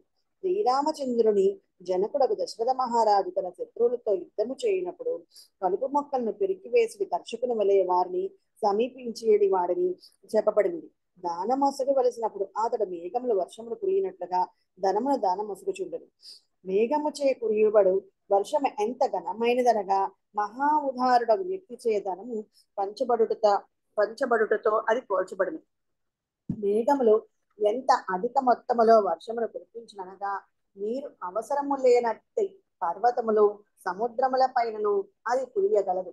దానము నిమిత్తము కోశమును తెలిసి పాత్రుడు అపాత్రుడు అన్ని భేదము చూపిని చూపని దాతను మేఘము బోరును. అట్టి దాత విరివిగా దానము కావించును.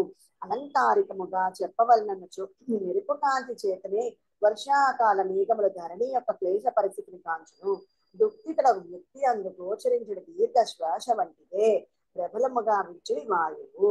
భూమి యొక్క పరిస్థితిని గాంచి దుఃఖించిన మేఘములు కరుణామయుడు వ్యక్తి వలె వాయువు సమక్షమును చెల్లించినవై కుండపోటగా వర్షములు కురియును. హరే కృష్ణ. హరే కృష్ణ. చాలా ఉపమానాలు. చాలా ఉపమానాలు. ఈ చాప్టర్ మంచి చాప్టర్ అమ్మా. బాగుంటుంది వర్ష వర్ష ఉమ్. అదే. ఏడోది. కళామాతాజీ లేరు కదా? ఓకే. ప్రభామాతాజీ చదువుతారమ్మా అమ్మమ్మ మ్యూట్లో ఉన్నారా హరే కృష్ణ. ఏడో శ్లోకం. ధరణి గ్రీష్మ తాపముచే సృష్టించినను వానదేవునిచే తడిసినంతట తిరిగి పుష్టి చెందింది ఆ విధముగా అది భౌతిక ప్రయోజనం కొరకు చేసిన తపస్సు చే దేహము సృష్టించినను ఆ తపఫలము లభించినంతట తిరిగి పరిపృష్టి చెందని వ్యక్తిని పోలేను. భాష్యం. దేవాది దేవుడు శ్రీకృష్ణ భగవానుడు అనే గ్రంథమునందు స్త్రీల ప్రభుపాదులు ఈ శ్లోకం ఇట్లు వ్యాఖ్యానించింది వర్షమునకు ముందు ధరలే ధరాతలమంతయు దాదాపుగా సర్వశక్తిహీనమే అత్యంత దుర్భరముగా గోచరించు కానీ వర్షము కురిసిన పిమ్మట ధరణి అంతయు పచ్చదనంతో నిండి ఆరోగ్యముగాను బలముగాను గోచరించు.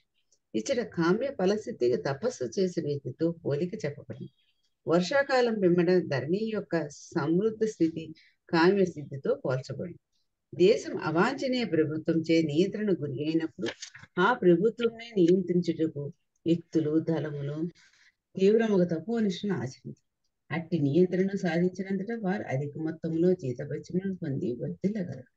ఇది కూడా వర్ష ఋతువులను ధరణి వర్ధిల్లటువంటిది నిజమునకు మనుషుడు ఆధ్యాత్మిక సుఖమును సాధించడం కొరకే తీవ్రముగా తప్పు అనిష్టను చేపట్టవను కేవలము భగవద్ అనుభూతిని పడేటి కొరకే తపస్సును చేపట్టమల్లని శ్రీమద్ భాగవతం నందు ఉపదేశింపండి భక్తిమయ తపస్సు చే మనుషుడు ఆధ్యాత్మిక జీవనమును పొందును. దానిని పొందినంతట అతడు అపరిమిత ఆధ్యాత్మిక ఆనందం పడింది కానీ ఎవరైనా ఏదో ఏదో భౌతిక లాభం కొరకు తపస్సును చేపట్టినచో భగవద్గీత ఎందు తెలుపబడినట్లు దాని ఫలములు తాత్కాలికములై ఉండును. కేవలం అల్ప బుద్ధిలే వాటిని కోరుకనిదురు ఎనిమిదో శ్లోకం.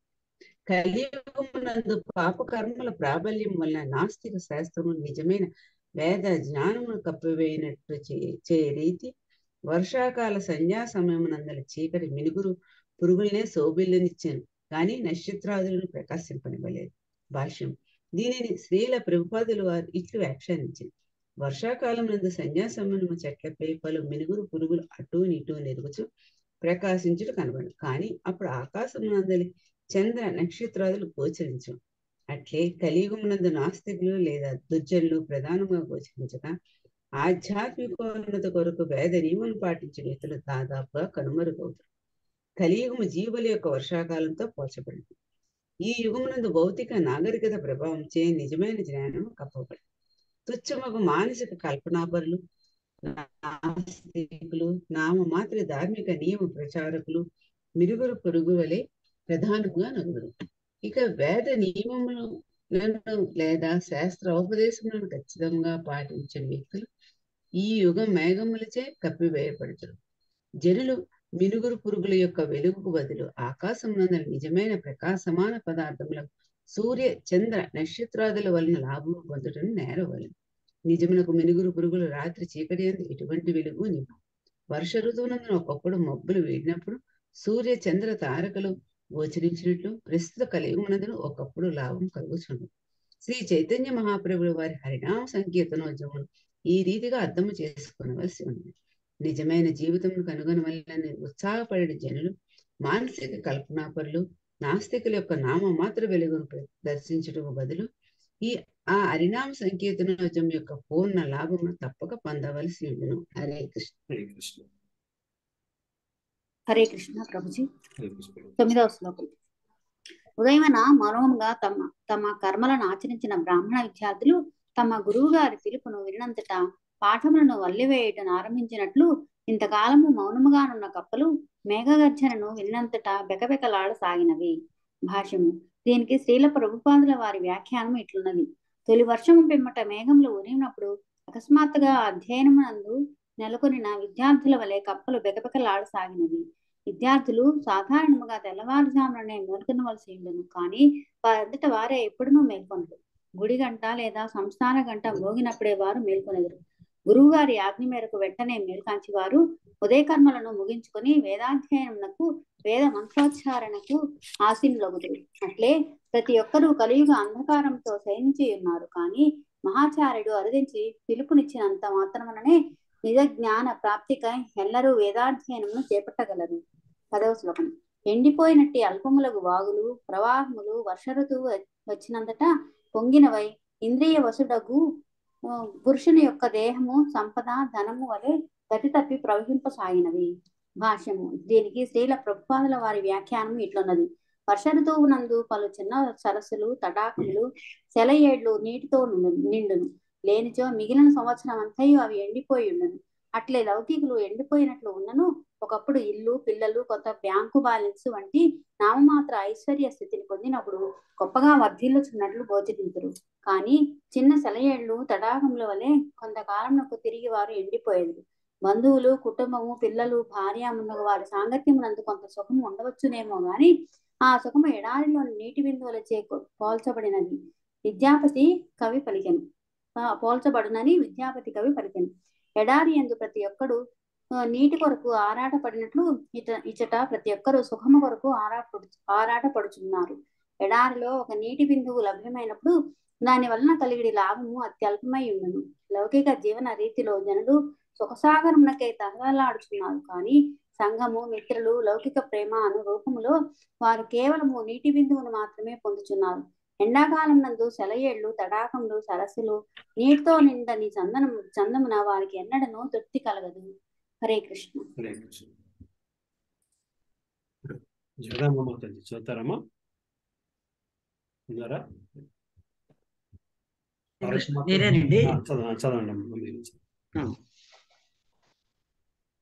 పదకొండు కదండి? అవునమ్మా కొత్తగా మరిచిన గడ్డి హరే కృష్ణ.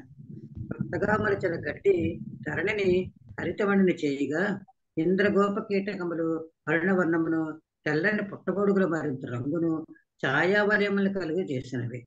ఆ విధముగా పృథ్వీ అకస్మాత్తుగా ధనికుడనై ధనికుడునై వ్యక్తి వరే గోచరి. భాష్యము రుణం అను పదము రాజవంశం చెందిన వ్యక్తులను సూచించనని శ్రీరశ్రీ ధరస్వామి వ్యాఖ్యానించింది. ఈ విధముగా తేజోమయ అరుణవర్ణ కీటకములతోనూ తెల్లని పుట్టగొడుగులతోనూ అలంకృతమైన శోభాయమానముగు హరి హరిత క్షేత్రము రాజు యొక్క సైనిక బల ప్రదర్శనలతో పోల్చున్నాను. పన్నెండు. ధ్యాన సంపత్తో ధాన్య ధాన్య సంపత్తో కూడినవే పొలములు కర్షకులకు ఆనందం కానీ అతి గర్వితుల వ్యవసాయం నెలకొందిన వాళ్ళకు సమస్తము ఏ విధముగా దైవాధీనమైనదో ఎరుగని వాళ్ళకు ఆ పొలముల పశ్చాత్తాపం కలుగజేసింది. భాష్యం. ఎక్కువ వర్షం కురిసినప్పుడు పెద్ద నగరంలో వసించడి జనులకు కష్టము చేదర కలుగుట పరిపాటి. ఆ వర్షం పండించే ధాన్యమునే తాము భుజించున్నామని వారు ఏదో వారు మరచేయరు ఆహారం నిక్కముగా వారికి ఆనందకరమే అయినప్పటికీ అదే వర్షంతో భగవానుడు కేవలం మానవులనే కాక చెట్లను పశువులను స్వయంగా పృథ్వీని పోషించున్నాడు వారు గుర్తించారు.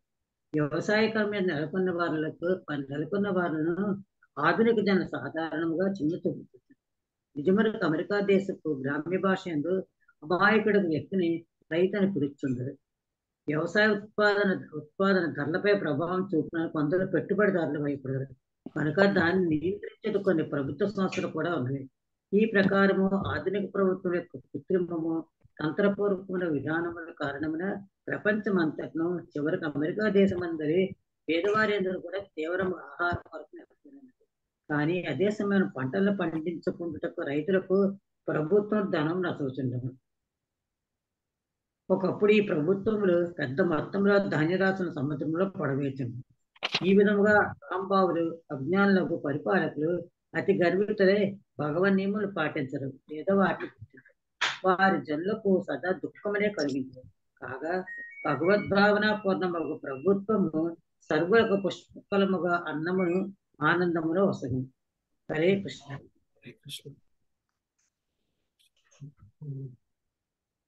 పార్వతీమాతాజీ ఉన్నారమ్మా. పుష్పమాతాజీ చదువుతారమ్మా. పార్వతీమాతాజీ లేనట్టున్నారుగా.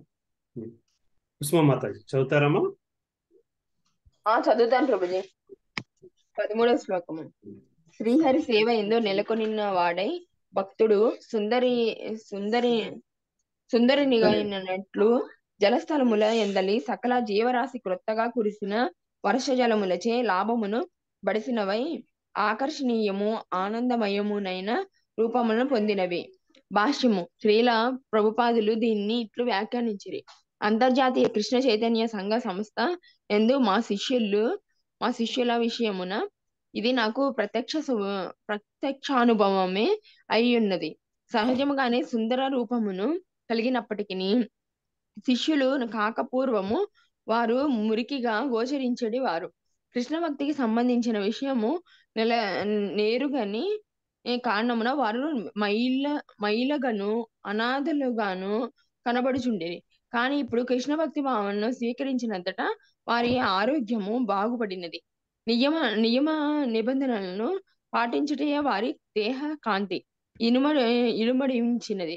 కాషాయ వస్త్రధారులై నుదుట తిలకముతోను మెడలో తులసిమాలతోను అలంకృతులై జపమాలను చేతితో చేతిలో పట్టుకొని అప్పుడు నేరుగా వైకుంఠము నుండి దిగి వచ్చిరా అనడి చందమున వారు గోచరింతురు. పద్నాలుగో శ్లోకం. అపక్వ యోగి యొక్క చిత్తము ఇంకను కామాసక్తము ఇంద్రియార్థను రక్తము అయిన కారణమున క్షుభీతి క్షుభీతమైనట్లు నదులు వచ్చి కలిసిన చోట వాయువు తరంగములు ఉవ్వెత్తున ఎగ ఎగయగా ఎగయగా సముద్రము క్షుభితము గాజె గాజొచ్చెను. పదిహేనవ శ్లోకము. కృష్ణగత చిత్తులకు భక్తులు నానా విధములగు విపత్తులకు గురి అయినప్పటికీ ప్రశాంతముగా నిలిచియుండు రీతి వర్ష ఋతువు నందు పర్వతములు వర్షధారలచే పదే పదే కొట్టబడినను. ఎంత మాత్రము చలింపలేదు. భాష్యము వర్షధారలచే కొట్టబడినప్పుడు పర్వతములు చలింపవు. పైగా అవి ధూళి తె- తొలగినవే. దేదీప్యమానముగాను సుందరముగాను ఒప్ప ఒప్పారును. అట్లే భగవద్ భక్తుడు కలత చెందించు పరిస్థితులు ఎందు కూడా తన భక్తి కార్యము కార్యక్రమం నందు విచలితుడు కాడు. పైగా ఆ పరిస్థితులు అతని హృదయము నందలి ప్రపంచ ప్రపంచాసక్తి అనేది దూరిని కలిగి కడిగివేయును. ఆ విధంగా విపత్కర పరిస్థితులను ఓర్పు కొనుచు ఓర్చుకొనుచు భక్తుడు పరమ సుందర సుందరినిగను దేదీప్యమానిగా మానునిగను ఒప్పారును. నిజముగా భక్తుడు జీవితం నందలి సమస్త కష్టములను కృష్ణ కరుణగా స్వీకరించును. పూర్వకర్మ ఫలము వలన కష్టములన్నీ కలుగుచున్నవని అతడు ఎరిగి ఉండును పదహారవ శ్లోకం. వర్ష ఋతువు నందు హరే కృష్ణ ముందుకెళ్దామమ్మా. హరే కృష్ణ. అమ్మా లక్ష్మీనారాయణ రెడ్డి మాత ఉన్నారమ్మా చదువుతారా? చదువుతాను ప్రభుజీ. హరే కృష్ణ పదహారు. వర్ష ఋతువు నందు రహదారులు శుభ్రపర పరపబడనివే. గడ్డితోనూ చెత్తతోనూ కప్పబడి వాటిని గుర్తించుట కష్టతరమయ్యను. బ్రాహ్మణులు అధ్యయనము చేయకపోవట చేత భ్రష్టులై కాలవశమున మరుగున పడిన శాస్త్రములను ఆ రహదారులు పోలినవి. పదిహేడు. కామిని స్త్రీలు గుణవంతులకు పురుషులతో నైనను విశ్వాస పాత్రులుగా ప్రవర్తించినట్లు మేఘములు సకల జీవ శ్రేయోభిలాషులైనను చపలానురాగము కలిగిన మెరుపులు ఒక మేఘ సమూహము నుండి వేరొక దానికి చరించసాగినవి. భాష్యము. స్త్రీల ప్రభుపాదులు దీనిని ఇట్లు వ్యాఖ్యానించిరి. వర్ష ఋతువునందు మెరుపులు ఒక మేఘ సమూహమునందు గోచరించి పిదప వెంటనే వేరొక మేఘ సమూహమునందు గోచరించుచుండును. మనస్సును ఒక పురుషుని యందు స్థిరముగా నిలుపనట్టి కామిని స్త్రీని ఈ దృగ్వి ఈ దృగ్విషయము పోలును. మేఘము వర్షమును కురిపించి జనులకు జీవము నొసుగును. కనుక యోగ్యుడగు పురుషునితో పోల్చబడును. యోగ్యుడగు పురుషుడు కూడా అట్లే కుటుంబ సభ్యులను లేదా వ్యాపారమునందు పలువురు జీతగాళ్ళను పోషించుచుండును. కానీ దురదృష్టవశాత్తు భార్య విడాకులు తీసుకున్నప్పుడు అతని జీవితము కల్లోరితమగును అప్పుడు అతని కుటుంబము నశించును. పిల్లలు చెల్లా చెదరుగుదురు వ్యాపారము మూతబడును. ఈ విధముగా దానిచే సమస్తము ప్రభావమితుము కాగలదు. కనుక కృష్ణ భక్తి భావన ఎందు పురోగమించగోరేడి స్త్రీ భర్తతో కలిసి ప్రశాంతముగా జీవించవలననియు. ఎట్టి పరిస్థితుల్లోనూ ఆ జంట విడిపోరాదనియు. ఉపదేశించబడినది. భార్యాభర్తలు మేధువ సుఖమును నియంత్రించి మనస్సును కృష్ణ భక్తి భావన ఎందు కేంద్రీకరించడం ద్వారా జీవితమును సఫలమనర్చుకొనవలెను. వాస్తవమునకు ఈ భౌతిక జగత్తులో పురుషునికి స్త్రీ అవసరము స్త్రీకి పురుషుని అవసరము ఉండనే ఉన్నది. కనుక వారిరువురు జతగూడినప్పుడు కృష్ణ భక్తి భావనలో ప్రశాంతముగా జీవించవలనే గాని ఒక మేఘము నుండి వేరొక మేఘమునకు చరించడి మెరుపు వలె చంచలముగా ఉండరాదు. పద్దెనిమిది. శబ్ద గుణమయమగు ఆకాశమునందు ఇంద్రధనస్సు గోచరించినప్పుడు అల్లే త్రాడుపై ఆధారపడని కారణమున అది సాధారణమగు ధనస్సులకు భిన్నముగా నుండును. అట్లే గుణమయమగు భౌతిక జగత్తునందు భగవానుడు అవతరించినప్పుడు నిర్గుణుడు భౌతిక పరిస్థితులకు స్వతంత్రుడు అయిన కారణమున అతడు సాధారణ పురుషులకు భిన్నముగా నుండును. భాష్యము. స్త్రీల ప్రభుపాదులు దీనిని ఇట్లు వ్యాఖ్యానించిరి. మేఘముల ఉరుములతో పాటు ఒకప్పుడు అల్లెత్రాడు లేనట్టి ఇంద్రధనస్సు గోచరించుచుండును. అల్లెత్రాడుతో రెండు కొనలయందు కట్టబడిన కారణమున ధనస్సు వక్రస్థితిలో నిలిచియుండును.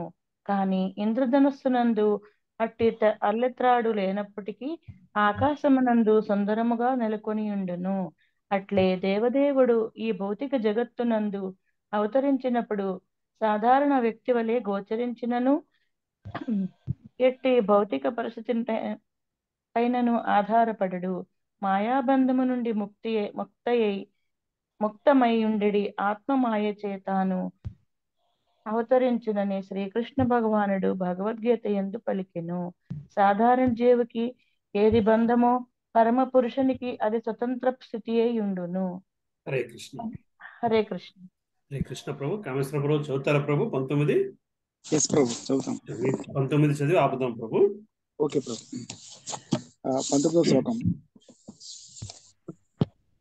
వర్ష ఋతువునందు చంద్రుడు తన వెన్నెలచే ప్రకాశించడి మేఘములచే కప్పబడి నేరుగా ప్రకాశించుండను అట్లే శుద్ధాత్మ చైతన్యముచే ప్రకాశించడి విద్యాహంకారముచే కప్పబడి భౌతిక అస్తిత్వములో జీవాత్మ వేరుగా గోచరించుచుండును. భాష్యం.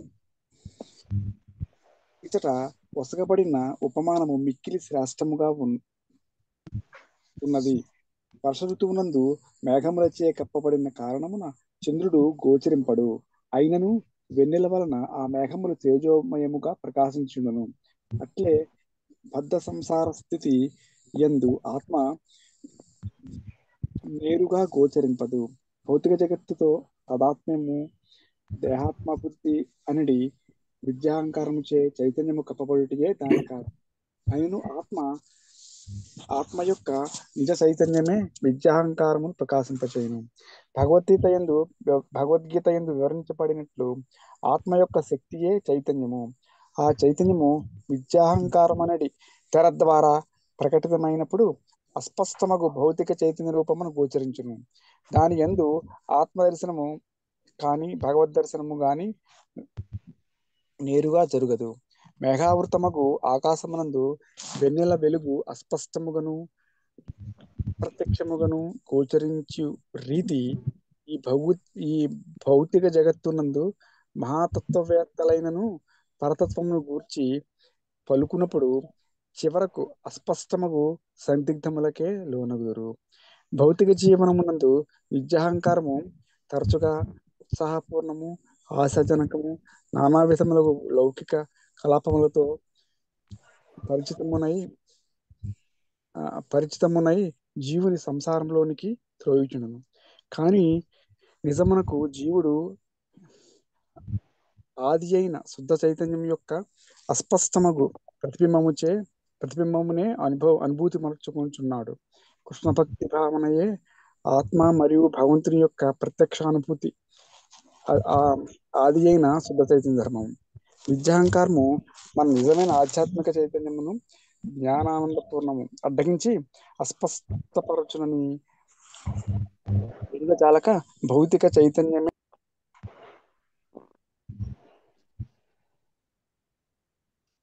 ప్రభు మ్యూట్లోకి వెళ్ళిపోయారు. తేజోమయం మేఘములు రాత్రివేళ ఆకాశమును ప్రకాశింపజేయనని తలచుటతో దీన్ని పోల్చవచ్చును. కానీ యథార్థమునకు వెన్నెల ఆకాశమును ప్రకాశింపజేయగా మేఘములు వెన్నెలను అస్పష్టపరిచి అడ్డగించుచుండును. చంద్రుని యొక్క తేజోమయ కాంతి మేఘములు తమ గుండా ప్రసరించుచు అడ్డగించడి కారణమున ప్రకాశమానముగా గోచరించును. అట్లే ఆత్మ నుండి నేరుగా కలిగడి ఆది అయిన జ్ఞానానందమయ చైతన్యమును తన గుండా ప్రసరించటి కారణమున భౌతిక చైతన్యము ఒకప్పుడు ఆనందమయముగాను లేదా జ్ఞానమయముగాను గోచరించును గోచరించును. ఈ శ్లోకమునందు వసగబడిన సరళమైన ఉపమానమును మనము అవగతము చేసు చేసుకోనగలిగినచో అత్యంత సులభముగా కృష్ణ భక్తి భావన ఎందు పురోగమించి పురోగమించగలము. థ్యాంక్ యూ ప్రభు ఇక్కడ తాపుదాం ప్రభు ఓకే ప్రభు వర్ష శరత్ ఋతువులని మనకి కలియుగంతోనే వాటితోని పోల్చుకుంటూ వస్తున్నారు. రైట్? మనం మన ప్రవర్తనతోనే పోల్చుకుంటూ వస్తున్నారు. అసలు భగవంతుడు ఒక జీవిని ఇంకొక జీవి తినేటట్టు పెట్టకుండా అన్ని ప్రకృతిలో దొరికే తినేటట్టు పెడితే ఎంత బాగుండేది ప్రభుజీ. ప్రకృతిలో దొరికేవంటే మరి అవి జీవులే కదమ్మా. ఒకదాన్ని ఒకటి చంపుకుని తినడం అనేది మరి ప్రకృతిలో దొరికేవన్నీ అంటే మీరు మీరేమంటున్నారు ఆకులు ఇప్పుడు గరుడు చేపల్ని తినేటట్టు పెట్టాడు. అట్లా కాకుండా ఆ చేపలేమో ఏదో నాచుని తిని బతుకుతున్నాయి అనుకోండి. మరి అవి మరి చేపలు బాధపడుతున్నాయి మనం అనుకుంటున్నాం. నాచు కూడా బాధపడుతుందేమో. అట్లా ఒక పక్షిని ఇంకొక పక్షి తినేటట్టో లేకపోతే ఒక జంతువుని ఇంకో జంతువు అది భౌతిక ప్రపంచం తాలూకు లక్షణమే అది. చిన్న చేపను పెద్ద చేప మాయ మాయ అని పాట అవును అవును అవును కృష్ణుడి పాటే అది. అదే అదే మాయాబజార్లో పాట. Ecosystem balance Prabhuji ecosystem balance ecosystem balance అంటే అంతేనమ్మా మరి అట్లాగనే ఉంది భౌతిక ప్రపంచం అంతా కూడా. మనుషుల్ని కూడా వదిలితే అట్లాగనే ఉండేవారు. అందుకనే వర్ణాశ్ర ధర్మాన్ని పెట్టుకొచ్చారు. అవును వర్ణాశ్ర ధర్మాన్ని పాటిస్తే ఈ ప్రాబ్లం ఉండదు బేసికలీ వర్ణాశ్ర ధర్మాన్ని పాటిస్తే ఎందుకంటే ఆ ధర్మం పాటిస్తున్న తర్వాత ఇంక వాళ్ళ లక్ష్యం ఒకటే అవుతుంది. అంటే జంతువులు అవ- ఆకలి కోసము చంపుతున్నాయి. మ- మనుషులు ఊరికే వాళ్ళ వినోదం కోసము వాళ్ళ దీనికోసం. అవును. ఒక ఒక సింహము దగ్గర ఒక పది పదిహేను జింకలు ఉన్నది ఒక జింకని చంపుద్దా? తర్వాత మిగతా మిగిలిన వదిలేస్తుంది. మళ్ళీ దానికి ఎప్పుడు చంపుతుంది.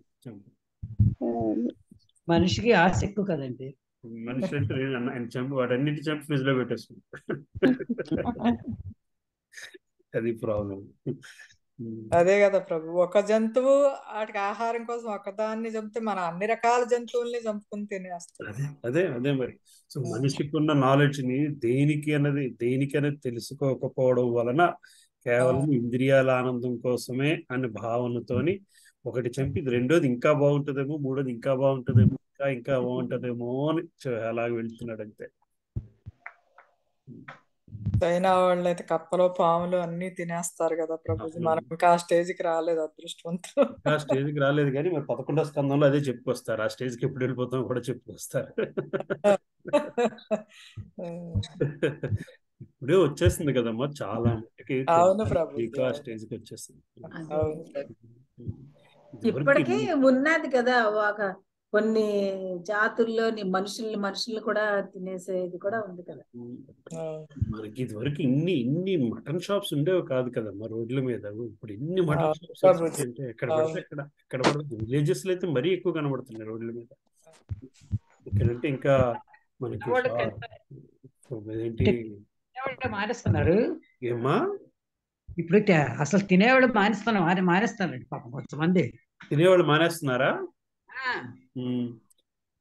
చెప్పాక కొత్తగా మానేస్తున్నారా. కొత్తగా ఆ, తినని వాళ్ళు కొత్తగా తింటున్నారు. అది తినేవాళ్ళు ఎప్పుడు మానేస్తున్నారంటే డాక్టర్ చెప్పాక మానేస్తున్నారు. చాలా మంది వెజిటేరియన్ కే వస్తున్నారు ప్రభుజీ. ఉమ్. ఎంత హారబుల్గా ఉంటుందంటే లాస్ట్ టైం ఇక్కడ మేము ఏంటది స్లాటర్ హౌస్కి తీసుకెళ్తున్న నాలుగు ఆవుల్ని తీసుకొచ్చాము అవి ఎంత హారబుల్ కండిషన్లో ఉన్నాయంటే ఎంత సిక్గా ఉన్నాయంటే ఆవులు అవి వాటిని రక్షించడం కూడా చాలా కష్టం అయిపోయింది నడిపించడం కూడా చాలా కష్టం. వాళ్ళు ఈడ్చిపోతున్నారు వాటిని. చెప్తుంటే భయం వస్తుంది. జనాలకు చూడరు కదమ్మా ఇవన్నీ చక్కగా నీట్గా ప్యాక్ చేసి వచ్చేస్తుంది మీట్ కదమ్మా Italian leather fine Italian leather అంటే అది ఒక రకమైన ఇటాలియన్ లెదర్ అది జావు బతుకు తోడ బతుకుండగానే తీసేస్తారు దారుణం అది మనకి most expensive costly Italian leather కింద మనం వాటిని షాపుల్లో కొనుక్కుంటాం. అట్లాంటి కొనకూడదని బ్యాన్ చేసేయాలి బ్యాన్ చేసేయాలంటే ఎవరు మరి బ్యాన్ ఎవరు బ్యాన్ చేస్తారు వాటిని? పాము చర్మంతో కూడా హ్యాండ్ బ్యాగులు ప్రభుజీ అంత ఎక్స్పెన్సివ్ బ్యాగులు ఎక్కడ ఉండవు. అంత అట్లా యుఎస్లో చూశాను నేను. పాము చర్మంతో బ్యాగ్స్ మనకి చెన్నైలో పెద్ద ఇండస్ట్రీ ఉందమ్మా దానికి. ముసలి అవును. చర్మంతోని పాము చర్మంతోని చేసేవి. అలాగే పాము విషంతో కూడా తయారు చేస్తారు. పెర్ఫ్యూమ్స్ తయారు చేస్తారు. ఉమ్మ్. దానివల్ల ప్రమాదం ఉండదంటారా ప్రభుజీ? అంటే దానివల్ల మరి డైల్యూట్ చేసేస్తారు బాగా. పాము కూరల్లోంచి ఇది వచ్చే సొల్యూషన్ తోనే అది తయారు చేస్తారు. ఇంకా అది ఒకసారి మనం ఆ టాపిక్ స్టార్ట్ చేస్తే అసలు భరించలేము అవును ప్రభుజీ వైరాగ్యం అంటే వీటితోనే వచ్చేస్తుంది. ఈ కంపెనీస్ లిస్ట్ అవుట్ చేసుకొని బ్యాన్ చేసేసుకోవాలండి వాడడము. మనం ఏమి యానిమల్ యానిమల్ టెస్టింగ్? చెయ్యాలి కొంచెం. అవన్నీ చూసుకోవాలి. సో ఎందుకమ్మా ఇవన్నీ అంటే మీకు తెలుసు కదా శారదామాత తెలుసండి కానీ ప్రొడక్షన్ డిమాండ్ ఉంటేనే కదండి ప్రొడక్షన్ ఉంటది. అంటే ఒక్కరితో అవ్వదు కదండి. సో అందరూ మానాలి కదా. మనం ఒక్కరం మానేస్తే అయిపోదు కదండి. మనుషులు మన- ఇప్పుడు వెస్టర్న్ వరల్డ్లోకి వెళ్తే హై ఎక్స్పెన్సివ్ డెలికసీస్ ఎలా ఉంటాయంటే వాళ్ళు బ్రతుకున్నవి కూడా తినేస్తుంటారు. కోడిగుడ్లు వాళ్ళు ఆ మిషన్ దీంట్లో ఎక్స్రే మిషన్లో పెట్టి చూస్తారు. అది పొదిగిందా లేదా పూర్తిగా ఇంకా రేపు పొదుగుతుందనగా దాన్ని వండుకుని తింటారు.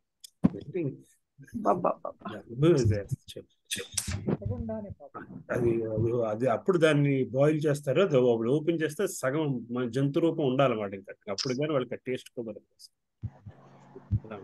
అసలు వినలేకపోతున్నాము.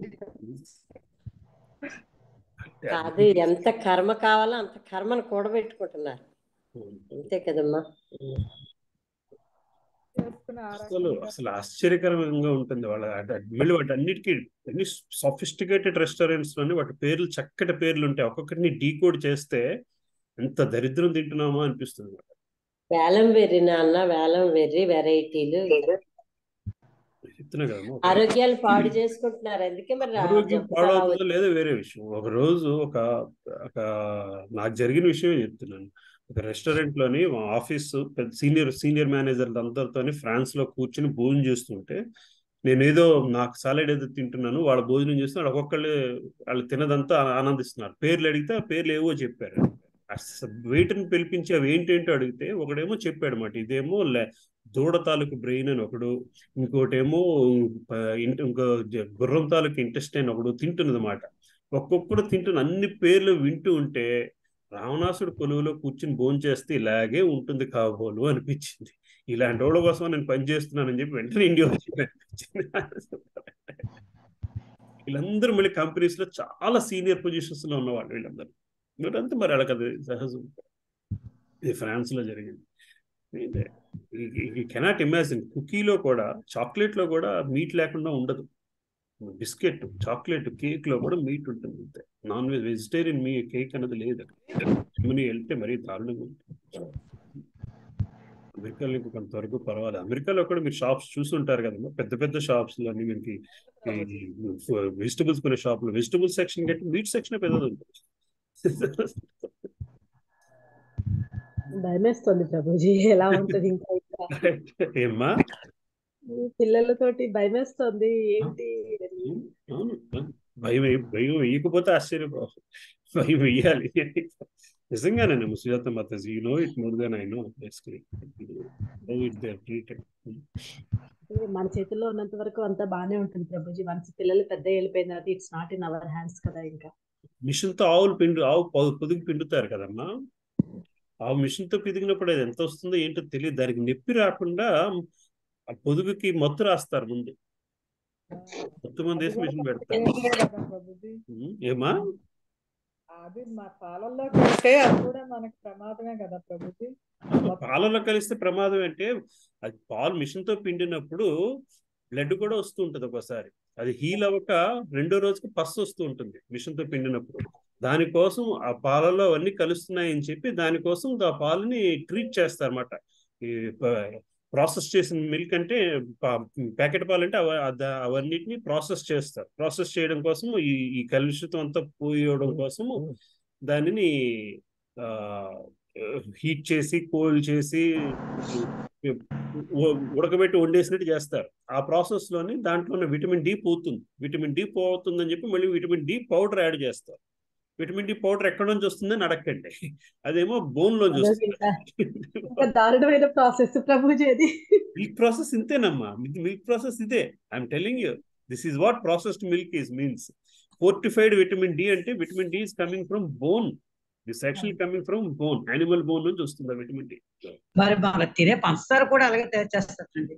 పంచదార అంత లేదమ్మా. పంచదార దారిలో కూడా బోన్స్ బోన్స్ కలిపి లేదు లేదు లేదు. I have seen sugar factory అదంతా అంత లేదమ్మా. I have seen sugar factories నేను చూసాను లేదు. షుగర్ అంతా షుగర్ కేన్ పంచదార sugar cane sugar cane sugar cane bleach కొడతారేమో ఆ కొంచెం సల్ఫర్ ఏదో కలరింగ్ వైట్గా రావడానికి కలుపుతారు అంటే అందుకే దేవుడికి బెల్లంతో చేయాలంటారు. బెల్లంతో అంటే ఇట్స్ మోర్ ప్యూర్ బెల్లం కొంత ప్యూర్. షుగర్ మీద ప్యూర్ అందుకే. బ్లీచ్ కొడతారమ్మ. షుగర్ కే వైట్ కలర్ రావడం బ్లీచ్ కొడతారు. అండ్ ఫెర్మెంటేషన్ ప్రాసెస్ దానికి అలా స్మెల్ వస్తుంది. కానీ బోన్ ఎక్కడ వేసినట్టు నేను చూడలేదు. ఫ్యాక్టరీస్ చూసానమ్మా ఇక్కడ మేము షుగర్ ఫ్యాక్టరీస్ సర్వీస్ చేస్తూ ఉంటాం కదా. వినడం వినడం మాట వినడం మాట ఇది చాలా యూస్ఫుల్ అమ్మా చైనా క్లే అని చెప్పి అమ్ముతూ ఉంటారు మనకి ప్లేట్స్ అవి china clay is nothing but animal bone అది ప్యూర్ యానిమల్ బోన్ నుంచి తయారు చేసిన పింగాణి ప్లేట్స్ ప్లాస్టిక్ పింగాణి ప్లేట్స్ లాగా ఉంటాయి అందులో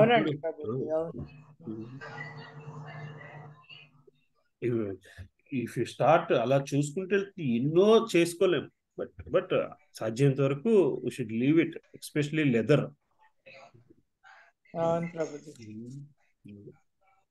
if you can we should leave it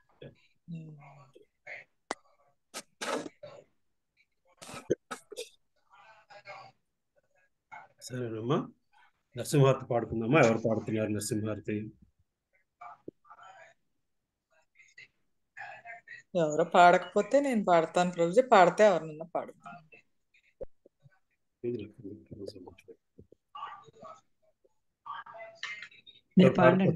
పాడతారమ్మా తల్లి. స్క్రీన్.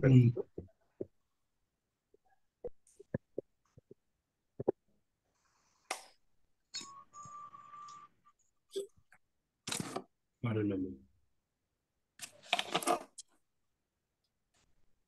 ఇది రా వచ్చింది కదమ్మా స్క్రీన్ మీద. ఆ, వచ్చింది వచ్చింది. నమ నమస్తే నరసింహాయ. ప్రహ్లాదహ్లాదదాయినే.